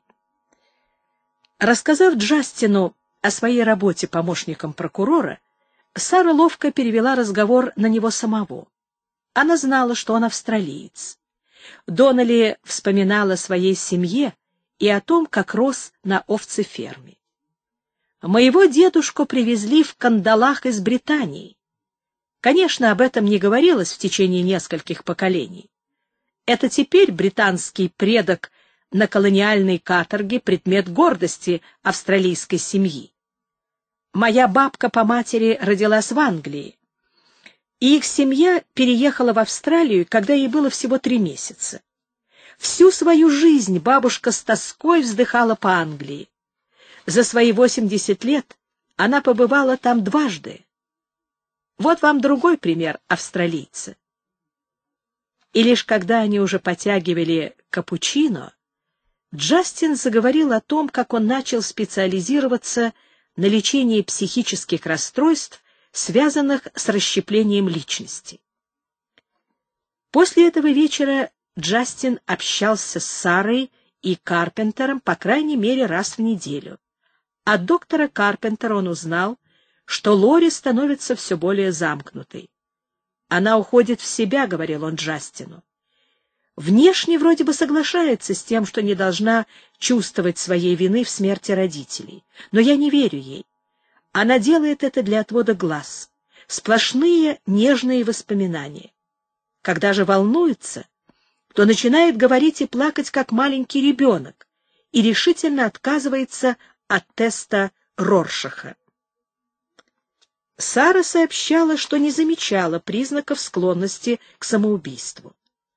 Лори очень не любит ходить к доктору Карпентеру по субботам, — говорила она Джастину Доннелли. Она считает, что это лишняя трата денег, а в том, что она сильно опечалена смертью своих родителей, нет абсолютно ничего противоестественного. Лори явно оживляется, когда мы ходим в клуб.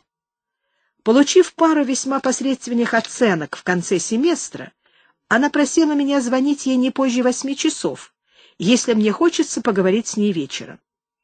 Сестре не хотелось бы, чтобы ее потом отвлекали от занятий. Мне кажется, она просто не хочет, чтобы я ее проверяла.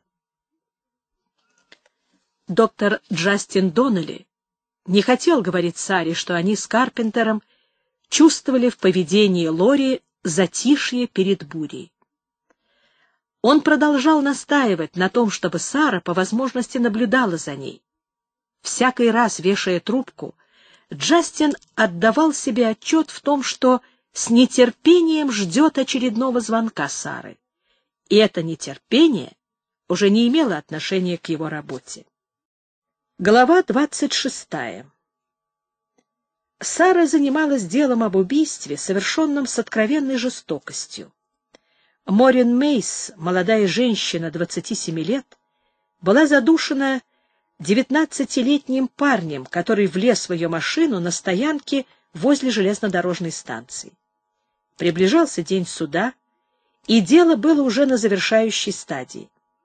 Она внимательно вчитывалась в показания свидетелей, обративших внимание на то, что обвиняемый словно кого-то высматривал на станции. Почему же никто хоть как-то не отреагировал на это, думала Сара? Ведь у них у всех возникло подозрение, что он что-то замышляет. Она знала, что следы на теле жертвы, свидетельствующие о ее отчаянных попытках спастись, несомненно, подействуют на присяжных. Суд начался 2 декабря, но все оказалось не так просто, когда симпатичный, располагающий к себе шестидесятилетний защитник Конор Маркус попытался разнести в пух и прах обвинения Сары. Отвечая на его умело заданные вопросы, свидетели признали, что на стоянке было темно, и они не разобрали, кто именно открыл дверцу машины — подсудимый или сама Мейс. Однако, когда Сара начала задавать вопросы, все свидетели в один голос заявили, что на железнодорожной платформе Морин Мейс явно не пожелала разговаривать с подошедшим к ней Джеймсом Паркером. Зал был переполнен. Жестокость преступления и ораторское искусство Маркуса привлекли огромное внимание прессы. Завсегда-то и судебных разбирательств заключали пари. Сара жила в естественном для нее за последние пять лет ритме. Она мысленно произносила свои обвинительные речи за едой и даже во сне. Теперь э, по субботам, после встреч с доктором Карпентером, Лори стала возвращаться в колледж. «Ты занята? И мне тоже полезно заняться делом», — говорила она Саре. «Как дела с доктором Карпентером? Я уже думаю, что в происшествии виноват водитель автобуса. Что ж, хорошие результаты». В очередной раз, позвонив доктору Доннелли, Сара сказала, как бы мне хотелось, чтобы все, что она говорит, оказалось правдой. День благодарения они отметили у родственников в Коннектикуте. Все прошло лучше, чем Сара могла предположить. На Рождество они с Лори полетели во Флориду и отправились в пятидневный круиз по Карибскому морю. Купаясь в открытом бассейне на палубе теплохода, они словно забыли о Рождестве и о том, что было обычно с ним связано. И все-таки Саре хотела, чтобы рождественские каникулы поскорее закончились, и она вновь вернулась к своей работе в суде. Лори большую часть времени проводила в каюте за чтением. Она записалась на курс Эллона Гранта по изучению творчества писательниц эпохи королевы Виктории и хотела немного подготовиться к нему, взяв с собой старую мамину пишущую машинку и предполагая делать заметки для себя. Но Сара знала, что она еще и печатала на ней какие-то письма, которые тут же вытаскивала из машинки и прятала, стоило Саре появиться в каюте. Неужели Лори кем-то увлеклась? Зачем делать из этого тайну? — размышляла Сара. Ей же двадцать один год одергивала она себя. Это не твое дело. Глава двадцать седьмая.